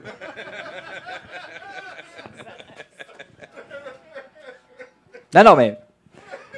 Me semble, c'est la première question que tu poses. Là. Si tu un B ou un G, votre nom, moi, c'est un B comme dans bébé, good, bonne journée. Là, ça fait sept mois qu'à chaque fois que je rentre, il est comme. Boudreau? Non, mais c'est comme ça. C'est comme ça. D'ailleurs, quand on m'a engagé, hein, on m'a donné une petite carte plastifiée avec mon nom dessus, Mathieu Boudreau une photo de moi et il faut que je la traîne en permanence. hein. Et cette carte-là me permet d'ouvrir des portes. Tu la passes, euh, tu la passes sur un petit truc, ça fait plouc. Ça ouvre aucune porte. Mais j'ai essayé, c'est confirmé. J'ai j'ai essayé nombre de fois. Je n'ouvre aucune porte avec cette carte-là. Et je m'en suis aperçu très tôt hein, dans le processus. Là.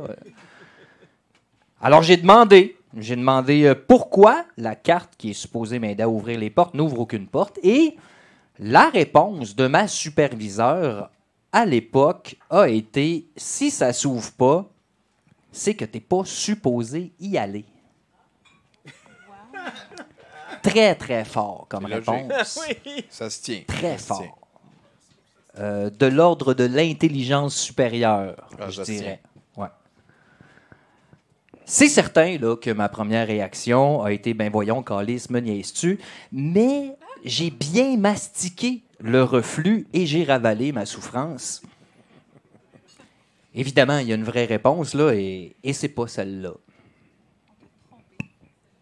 La semaine passée, la semaine passée, j'étais avec le responsable d'avant-gardiste lui-même, le boss de ma superviseure, et il me guide hein, vers ma prochaine tâche, car je suis un employé qui parle français, donc j'ai des tâches supérieures. Vient une porte. Et il me demande ma carte, parce que lui, il a oublié la sienne sur son bureau. J'ai ma carte, évidemment. Je suis un bon employé. Donc, j'y tends ma carte, puis je dis, c'est sûr qu'elle ouvre pas la porte, elle ouvre aucune porte, ma carte. Et il fait, ah ouais? Ah?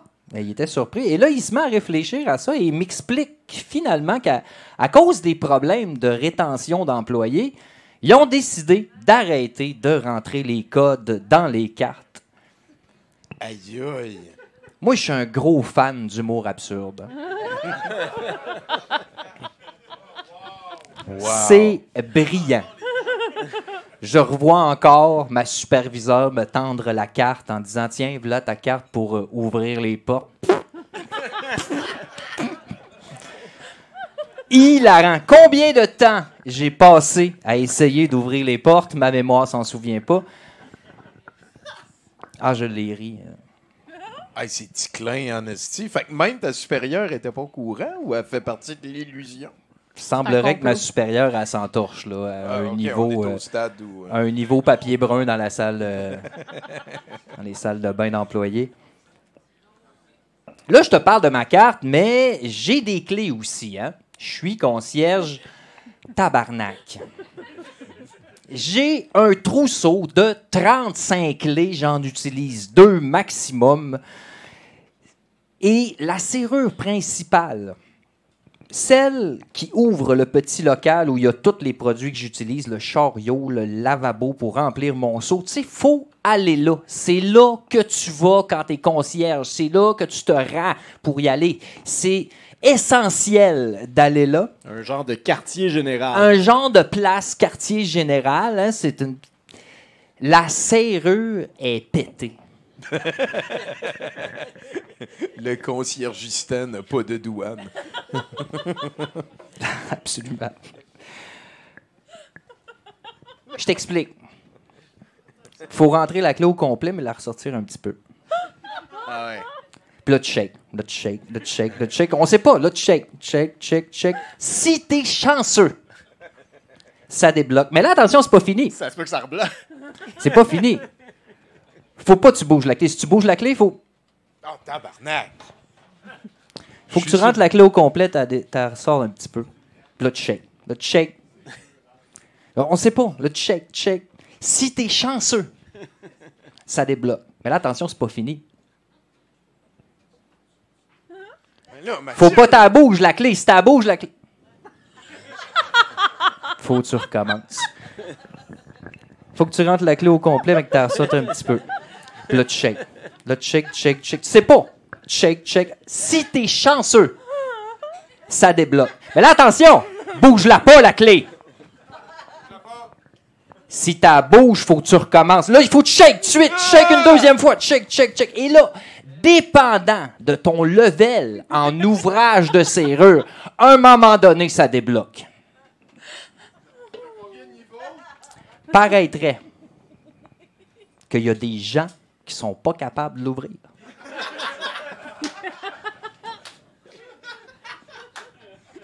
Avant-gardiste à la serrure pétée, avant-gardiste. La semaine passée, le grand boss nous parlait des employés qui restent pas. Tout le monde est au courant que cette serrure-là est pétée. C'est comme ça depuis bien avant que je sois engagé. Et j'imagine que ça va rester hein, bien après que j'ai pris ma retraite. Ou juste crisser ma job là aussi. Hein. On jase. Mathieu.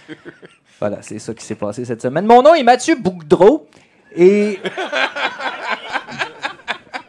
ne ratez pas la semaine prochaine où je vous raconterai la fois où j'ai demandé pourquoi on n'a pas le droit de jeter les clés cassées du trousseau. Chris.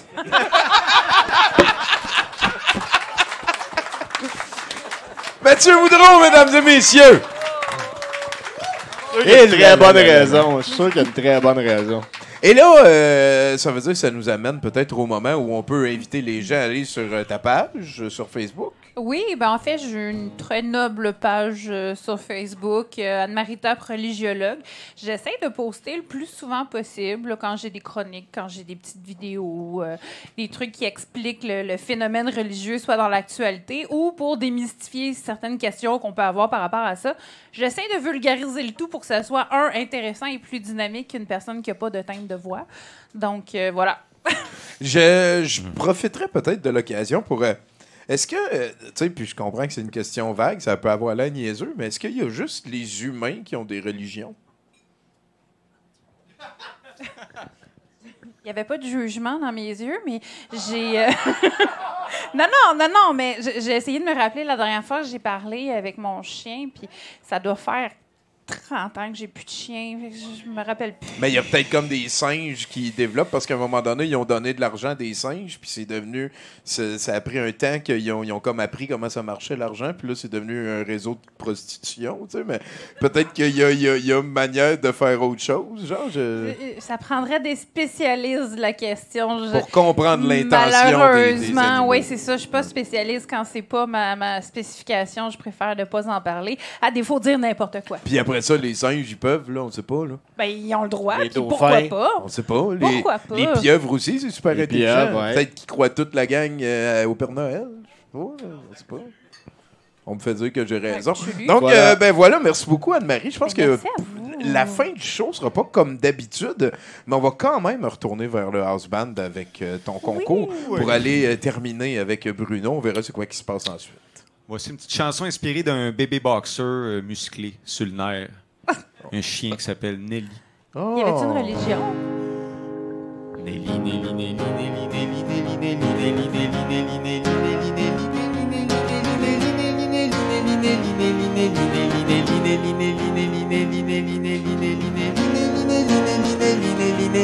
Arrête de grimper sur le monde. Ah ben Colin, merci beaucoup Daniel Laflamme, mesdames et messieurs. Et avant de passer euh, à Bruno, ben on invite euh, le, le VJ de ce soir. Ça va être ta première chronique à 70%, Pascal. Ben oui. Quel, quel homme, hein, quel homme. Il habite au musée à cette heure, fait que là, à cette heure, euh, Tellement de gens que j'ai pas nommé au début du show. C'est capoté, hein, on a- Au début, on était quatre, puis on est rendu Une chance Ben que ouais, Daniel il gaule là-bas. Là. Parle-moi, Pascal. Oui, mais euh, à soir, euh, en fait, tu m'avais dit au début, genre, c'était le 6 juin, finalement. Ah, l'autre peut pas, peux-tu le faire le 13? Puis finalement, ah, peux-tu le 20? Fait que finalement, je me suis ramassé à faire une espèce de, de spécial Saint-Jean. Oui. Fait que c'est ça. Moi, je me. Très, très, très rarement du québécois dans mes, dans mes sets. Mais là, j'ai décidé de faire. euh, je me prêtais au jeu. Là. Fait je pense que vous allez quand même sortir. J'espère que les projectiles vont être là parce que vous allez en lancer vraiment beaucoup, beaucoup, beaucoup. Fait que ça va être beaucoup Saint-Jean. Si c'est Saint-Jean, donc c'est beaucoup de chansons. Mm. Mais je me suis fait quand même plaisir avec mes, mes, mes trucs euh, personnels, mais genre 6 clips sur 50, que genre euh, mes obsessions personnelles, genre Bollywood et Chuck Norris, mais sinon, qui dérapent un peu de la Saint-Jean. Mais euh, c'est ça. Sinon, donc, c'est à peu près ça. Là. Fait que, Très apprécié. Merci beaucoup, Pascal. J'espère que vous allez euh, apprécier. Vous allez beaucoup lancer d'objets parce que euh, je vais tester un peu votre endurance aussi avec quelqu'un. Et puis, il euh, connaît ça, ça. Donc, euh, à très, très bientôt. Voilà, on va leur pogner en arrière de la console. Merci, Pascal. Et là, j'ose plus prétendre qu'on arrive au bout, Daniel. Je sais que tu vas nous faire des chansons, hein, un petit peu tantôt. deux chansons. Je sais qu'il nous reste au moins un bloc de Bruno. Donc, euh, je t'invite à faire un petit peu de bruit, puis on va voir Bruno.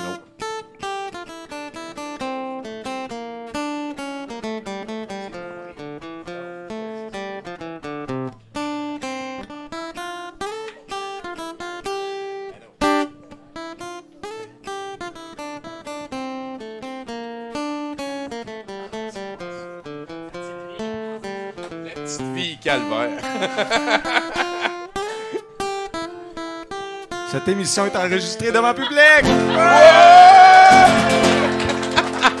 C'est vrai.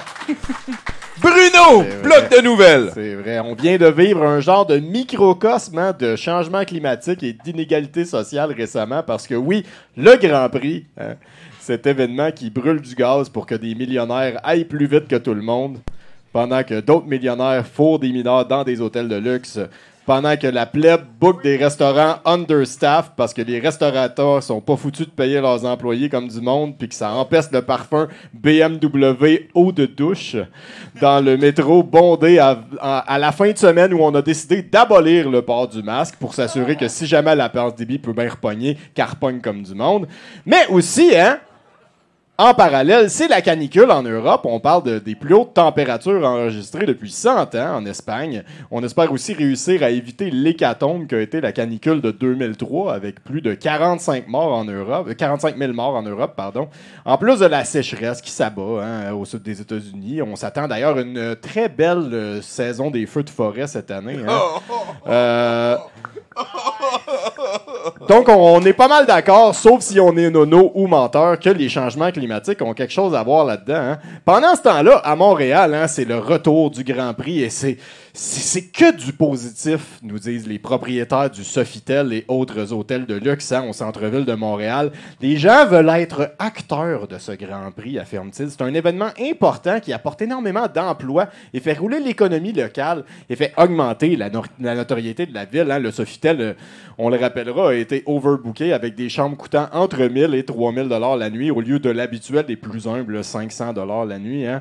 On peut imaginer le prix des autres hôtels à Montréal.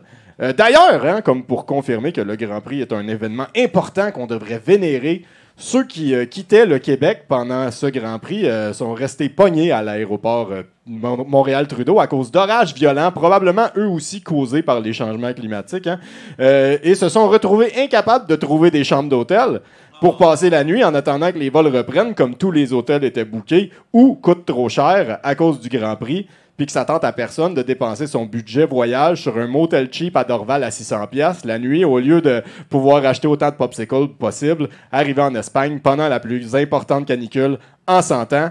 Euh, je pars en vacances pour deux semaines. J'espère que tu vas pas Ce en jeudi. Espagne. Euh, non, je pars pas en, je pars pas en Espagne. Euh, je serai remplacé par Val Belzile et probablement Ken Mallard, euh, que je n'appellerai pas Ken Guillaume parce que j'ai envie qu'il le fasse. Peut-être que ça va être moins déprimant dans les deux prochaines semaines. bon voyage, en tout cas. Ben oui. Puis on peut peut-être mentionner aussi qu'à ton retour, euh, ça va- c'est assez capoté, là, parce qu'on l'a vu venir d'avant. D'habitude, on est pourri là-dessus.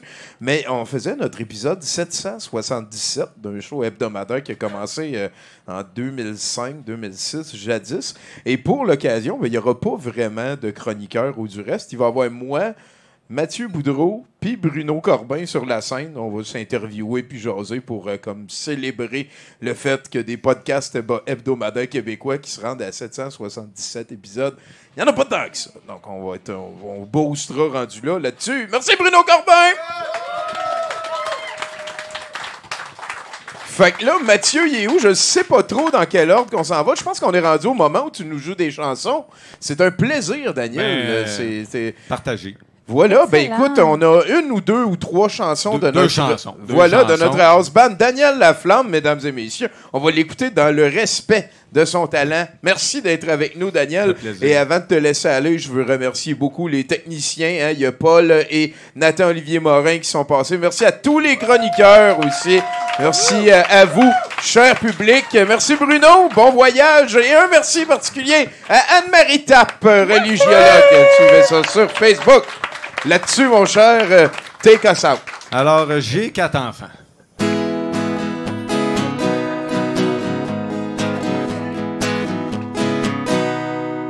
Je suis papa, papa, papa, papa, papa de quatre enfants. Je suis papa, papa, papa, toujours patient quand ils veulent papa, papa, papa, papa, faire mes quatre volontés. Je suis papa, papa, papa, pas content. Je voulais juste qu'il me fasse un café, deux, trois toasts, du bacon pis des crêpes avec de la crème anglaise. Ils ont fini par dire oui, mais après coup, ils ont pas voulu laver la vaisselle. Me semble, tu le fais ou tu le fais pas, papa, papa, papa. Tu le fais ou tu le fais pas, papa, papa, papa. Je suis papa, papa, papa, papa, avec mes enfants, sont papa, papa partout sur les réseaux sociaux.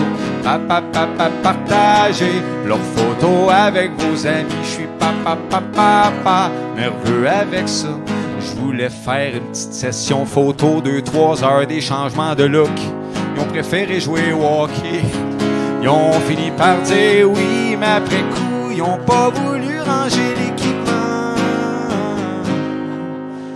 Tu le fais ou tu le fais pas, papa, papa, papa. Tu le fais ou tu le fais pas, papa, papa, papa.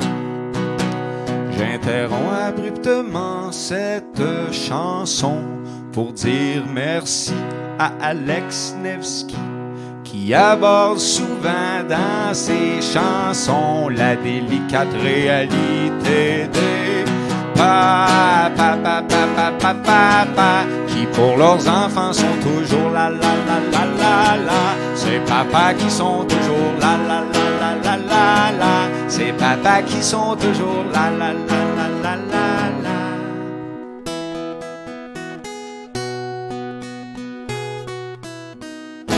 Ouais. Merci. Ouais, ouais. Alors, une chanson inspirée de ces gens qui parlent trop quand ils consomment un peu d'alcool ou euh, des drogues douces. Juste ici, à soir, il y en a une gang, là. Élise. Ben oui, Élise la flamme. Euh, en fait, moi-même. Si je suis de même. Voici le medley d'anecdotes.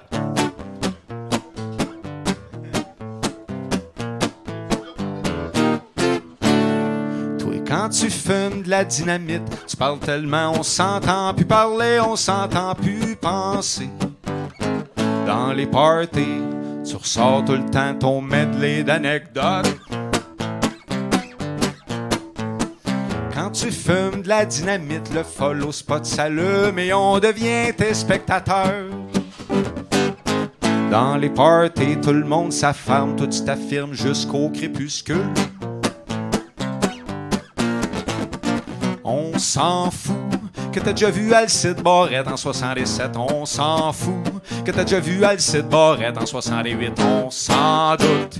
Ce n'est que la pointe de l'iceberg. La suite s'en vient, mais moi je m'en vais.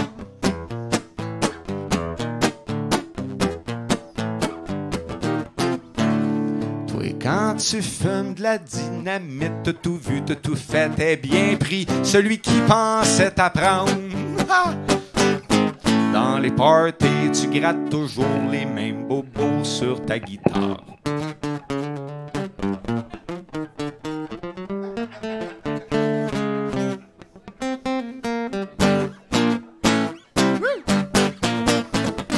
On s'en fout que t'as déjà vu Francis Cabrel au Centre Bell et surtout que jouer les murs de poussière en rappel. On s'en fout que t'as vu Led Zeppelin à London. T'avais une pause backstage avec vue sur les crudités. On s'en doute, ce n'est que la pointe de l'iceberg. La suite s'en vient, mais moi je m'en vais. La suite s'en vient, mais moi, je m'en vais.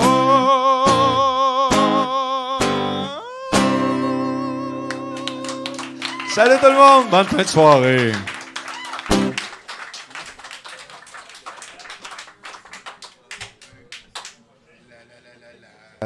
Ah, voilà. Un gros merci à notre house band Daniel Laflamme. Il nous reste une partie à la soirée. Et donc voilà, on accueille euh, ce mystérieux personnage euh, qui... euh,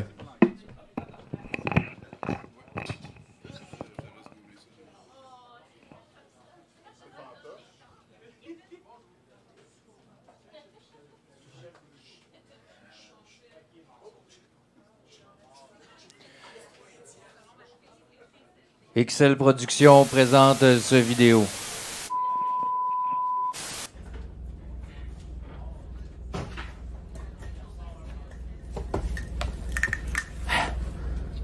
Un, deux. Ah, ça marche. Ça pas long. Eh, On voit rien. Oh, voilà. Bonsoir tout le monde. Bonsoir le brouhaha. Hein? Bonsoir Tommy. Bonsoir la rétrolution. Écoutez, euh, comme vous le savez, hein, je peux pas être là, mais là, euh, l'heure est grave. C'est pour ça que j'ai enregistré une vidéo. euh, parce que je peux pas être en direct, on va me retracer. On va me retracer. Je, fais attention, je me promène avec un bâton de golf. J'haïs le golf, c'est que j'haïs ça, fait que personne va savoir que c'est moi. Je vous jure. Fait que je me suis caché dans le sous-sol du voisin. Là, il écoute la télé, je pense, je pense que je suis correct. Je pense que je suis correct. Écoutez, euh, l'heure est grave, comme je viens juste de dire. euh, euh, c'est fini. C'est fini, pas la rétrolution. Mais c'est fini pour Intélévision. Et oui, Intélévision est officiellement sous la protection de la faillite. Ils nous auront pas. Ils nous auront pas. Ils ont gagné une bataille, mais ils nous auront pas. Moi, je suis prêt. J'ai, j'ai, j'ai, avec moi, je vous rassure. J'ai la boîte brune avec moi. On est correct. La rétrolution est sauvée.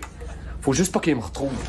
Mais je prends des précautions. J'ai même mon collier hein, ici en cas que, en cas que je tombe dans le monde à l'envers. J'aurai de quoi communiquer avec vous autres en morse. Parlant de communiquer, attendez un peu. Non, pas faire exprès non plus pour être trop voyant. tu sais. Parlant de communiquer, laisse-moi juste deux petites secondes. Ça, ça sera pas bien long. Ça sera pas long.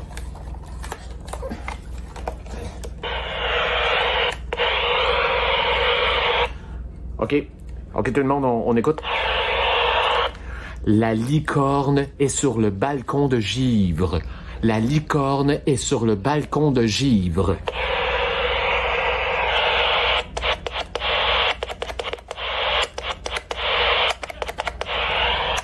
C'est pas un vrai message. Les souliers de danse sont en émoi. Les souliers de danse sont en émoi. C'est fait. Donc, pour ceux qui avaient reçu le mémo avec les codes, vous savez quoi faire. Donc, je suis là de passage vraiment vite. À même enregistrer une vidéo, c'est dangereux. J'ai réussi à avoir de l'électricité euh, avec une vieille génératrice. Mais bon, tout, va bien. hein. Euh, heureusement, j'ai l'aide ici de mon ami euh, Pantoufle le clown, qui va être là aussi pour la période de questions juste après, parce que vous pourrez poser vos questions, parce qu'on a des projets pour la... Fuck. On a des projets pour la boîte brune. Mais là, je pense que j'aurai pas le choix. Elle va être portable. Donc, je l'annonce officiellement ce soir à 70 La boîte brune sera portable. J'ai fait une coupe de- d'offres là, sur des génératrices. ça va être pas pire. Fait que c'était juste un mot pour vous dire ça. Faut swatcher. Intélévision is down. Intélévision is down. Donc, euh, pour ceux qui ont compris le message, merci. On va passer à la période de questions. Si vous avez des questions sur le futur, hein? Le futur, parce que oui, il y en a un. Il y en a un futur. OK? Venez pas me dire qu'il n'y en a pas de futur, il y en a un. Ma caméra est bizarre, hein, à louche. Je pointe vers la caméra, mais ça pointe pas. C'est pas grave. Donc, je vous laisse avec Pantouf qui va euh, répondre à vos questions. En fait, c'est pas Pantouf qui va répondre à vos questions, c'est moi. Euh, on a développé ici chez X-Large un- une, intelligence artificielle qui pourra répondre à vos questionnements. Donc, euh, on revient à moi en intelligence artificielle. Merci. Je je passe la parole à Pantouf. Fait qu'on lève la main. Ceux qui ont des questions, Pantouf choisira celui qui apprécie. Lève ta main, c'est une question. Là. Bruno? Qu'est-ce qui vient de se passer? Bon, on écoute la réponse. Hmm. C'est une bonne question, mais c'est un peu trop tôt pour répondre à ça. Euh, on a des brevets là, qui sont encore sur la glace. Merci pour cette question encore. Merci pour vous. Deuxième question ici, Étienne. Réponse. Merci pour cette question encore. Merci pour vos questions.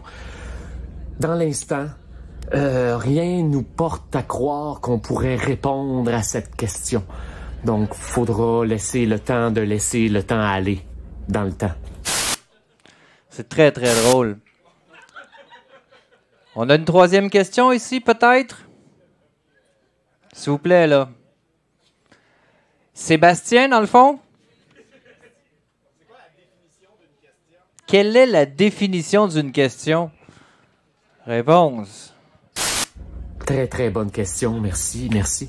Euh, mais... euh, euh, je ne sais pas. Très, très drôle. Euh, Martine, au fond, là-bas. Est-ce que tu dois vendre tes bitcoins? Eh bien, euh, Alex de XL Productions. L'intelligence artificielle est maintenant désactivée. OK? Moi, j'ai pas fait des menaces à personne. Moi, j'ai fait un, men- euh, pas des menaces. J'ai invité le monde à venir battre des antifas. OK? Moi, j'ai pas fait des menaces à personne. Moi, j'ai fait des menaces.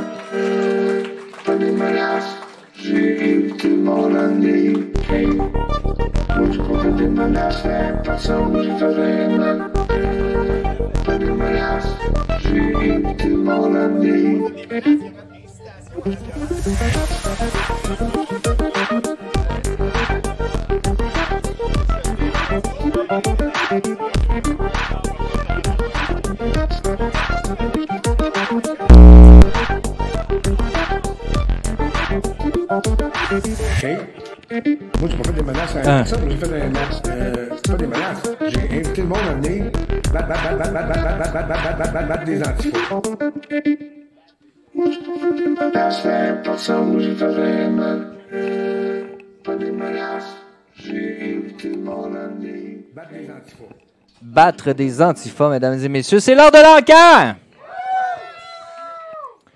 Êtes-vous en forme? En forme de quoi? L'encan, mesdames et messieurs, c'est pas très compliqué. L'encan, c'est que vous nous apportez de la cochonnerie, hein, que vous avez payé un prix ridicule. Nous autres, on met ça en arrière. Et quand on est tanné, on ressort la cochonnerie et on vous la revend à des prix complètement ridicules. hein. C'est une économie circulaire. C'est comme ça euh, que nous, on accélère le mouvement hein, vers la Grande Dépression et tout ce qui s'en suivra.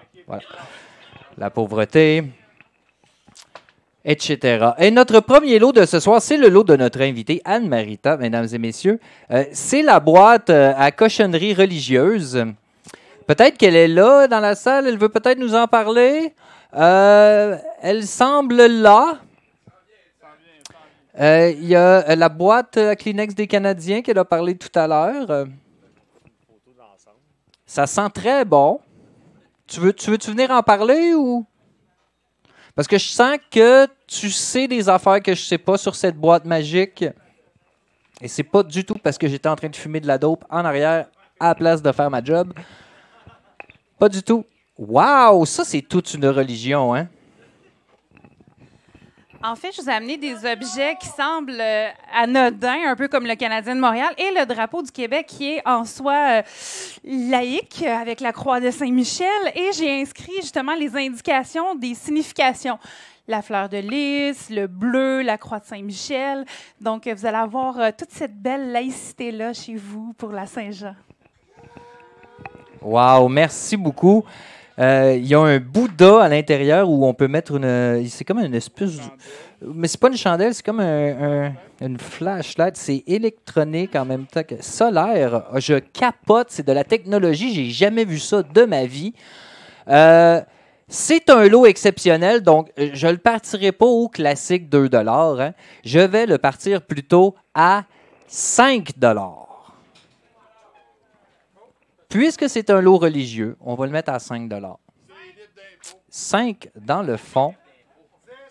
10 juste à côté. Comme les sapins à New York de Noël. Tu veux dire, valent 10 chaque ou? Libre d'impôt. C'est assez exceptionnel ce qu'on apprend à 70% 10% une fois. Il y a une chandelle comme ça avec un petit Jésus dessus. Un cierge, pardon, pardon. Euh, je m'en crisse un peu. Euh, 10 deux fois. Hein? 20 20 ici. On pourrait essuyer nos larmes hein, avec les lettres, les, mouchoirs des Canadiens. Euh, amen. On était rendu à 20 une fois, 20 une fois. 20 deux fois. Hein? Oh, tu l'as gagné, je pense. Hein? S'il y a personne. 20 trois fois vendu. Incroyable. Moi qui pensais qu'on allait y passer la nuit. Je vous rappelle. Wow, 20 pièces, incroyable. Qu'est-ce qu'on va faire avec? On se le sépare en deux, on se le sépare en deux. C'est incroyable le fun qu'on a ce soir. Euh, le lot de la soirée, mesdames et messieurs, celui que vous attendiez tous, la peinture de Pacou, mesdames et messieurs. Pacou aime Mystery sur Instagram. Je comprends pas pourquoi tu n'es pas en train de t'inscrire sur son Instagram. M Mystery. Inscris-toi! C'est une magnifique toile qui s'appelle Pour la fleur de lys. Et voilà. Ben voilà. C'est comme ça. C'est thématique. Elle fait tout le temps ça. C'est une coquine. Ça habille n'importe quel mur, je te le garantis. Et ça va valoir cher plus tard. Tu vas la payer à un prix complètement ridicule. C'est pour ça qu'on va la partir à 20 Qui me dit 20 Faut que tu dises 20 pièces. Aussi boire, hein? Ah, OK, j'ai compris, là. 50 Oh, tabarnouche. 55 Du monde qui comprenne c'est quoi un encan. 60 60 Je vous rappelle qu'à 120, l'artiste mange chaud. 70 Comme l'émission, c'est Je pense qu'on peut l'applaudir. Hein? 70 comme le thème de l'émission. Hein? Le titre qui est 70 80 Merci de me sauver de cette phrase que je disais. 80 une fois. On l'essaye-tu sur le côté? Essaye-le sur le côté. 90 Voilà. Sur le côté, elle est aussi excellente. Peut-être même à l'envers. Oh! 100? Pour qu'elle mange chaud, c'est 120. 120 mesdames et messieurs. Incroyable. Dire qu'il y en a qui bêtent pas sur cette toile-là. 130 mesdames et messieurs. Oh, oh! Une personne qui a définitivement un mur à habiller. 140. Ah, 140. Je suis content d'apprendre que tu as un emploi. 40, 140 dollars une fois. 140 dollars deux fois. Oui, je suis habillé en clown. Si la présente comme ça, ça va au-dessus 150 pièces. 140 dollars trois fois, vendu. Bon. Et Batins. Les moments qu'on vit à l'encan sont toujours des moments impérissables. hein. Chacun de ceux-là, je les chérirai jusqu'à ma mort et peut-être même plus. Je ne sais pas c'est quoi la mort. Hein? Donc, on va continuer le show de ce soir. Je laisse la parole à Tommy, notre grand, notre bienfaiteur. Puis il y a quelqu'un qui va passer le Yuki, je ne sais pas encore, là, mais le Yuki, c'est un chien de l'enfer, puis vous mettez votre petit change dans son péteux si ça vous tente de nous encourager à vous acheter d'autres cossins. Bye bye! Merci beaucoup, Mathieu Boudreau, pour euh, cet encan, encore une fois. hein. Oui, c'est des souvenirs euh, immortels. On est très chanceux ce soir. Euh, Étienne se sentait généreux. Et après avoir passé le, Yu- le Yuki, il va sortir les projectiles. Et on commence un set de VJ qui implique euh, la Saint-Jean. C'est notre effort. hein, et Pascal qui fait checker à la face. Donc, ce que je vais faire pour terminer ce 70% et le reste, je vais mettre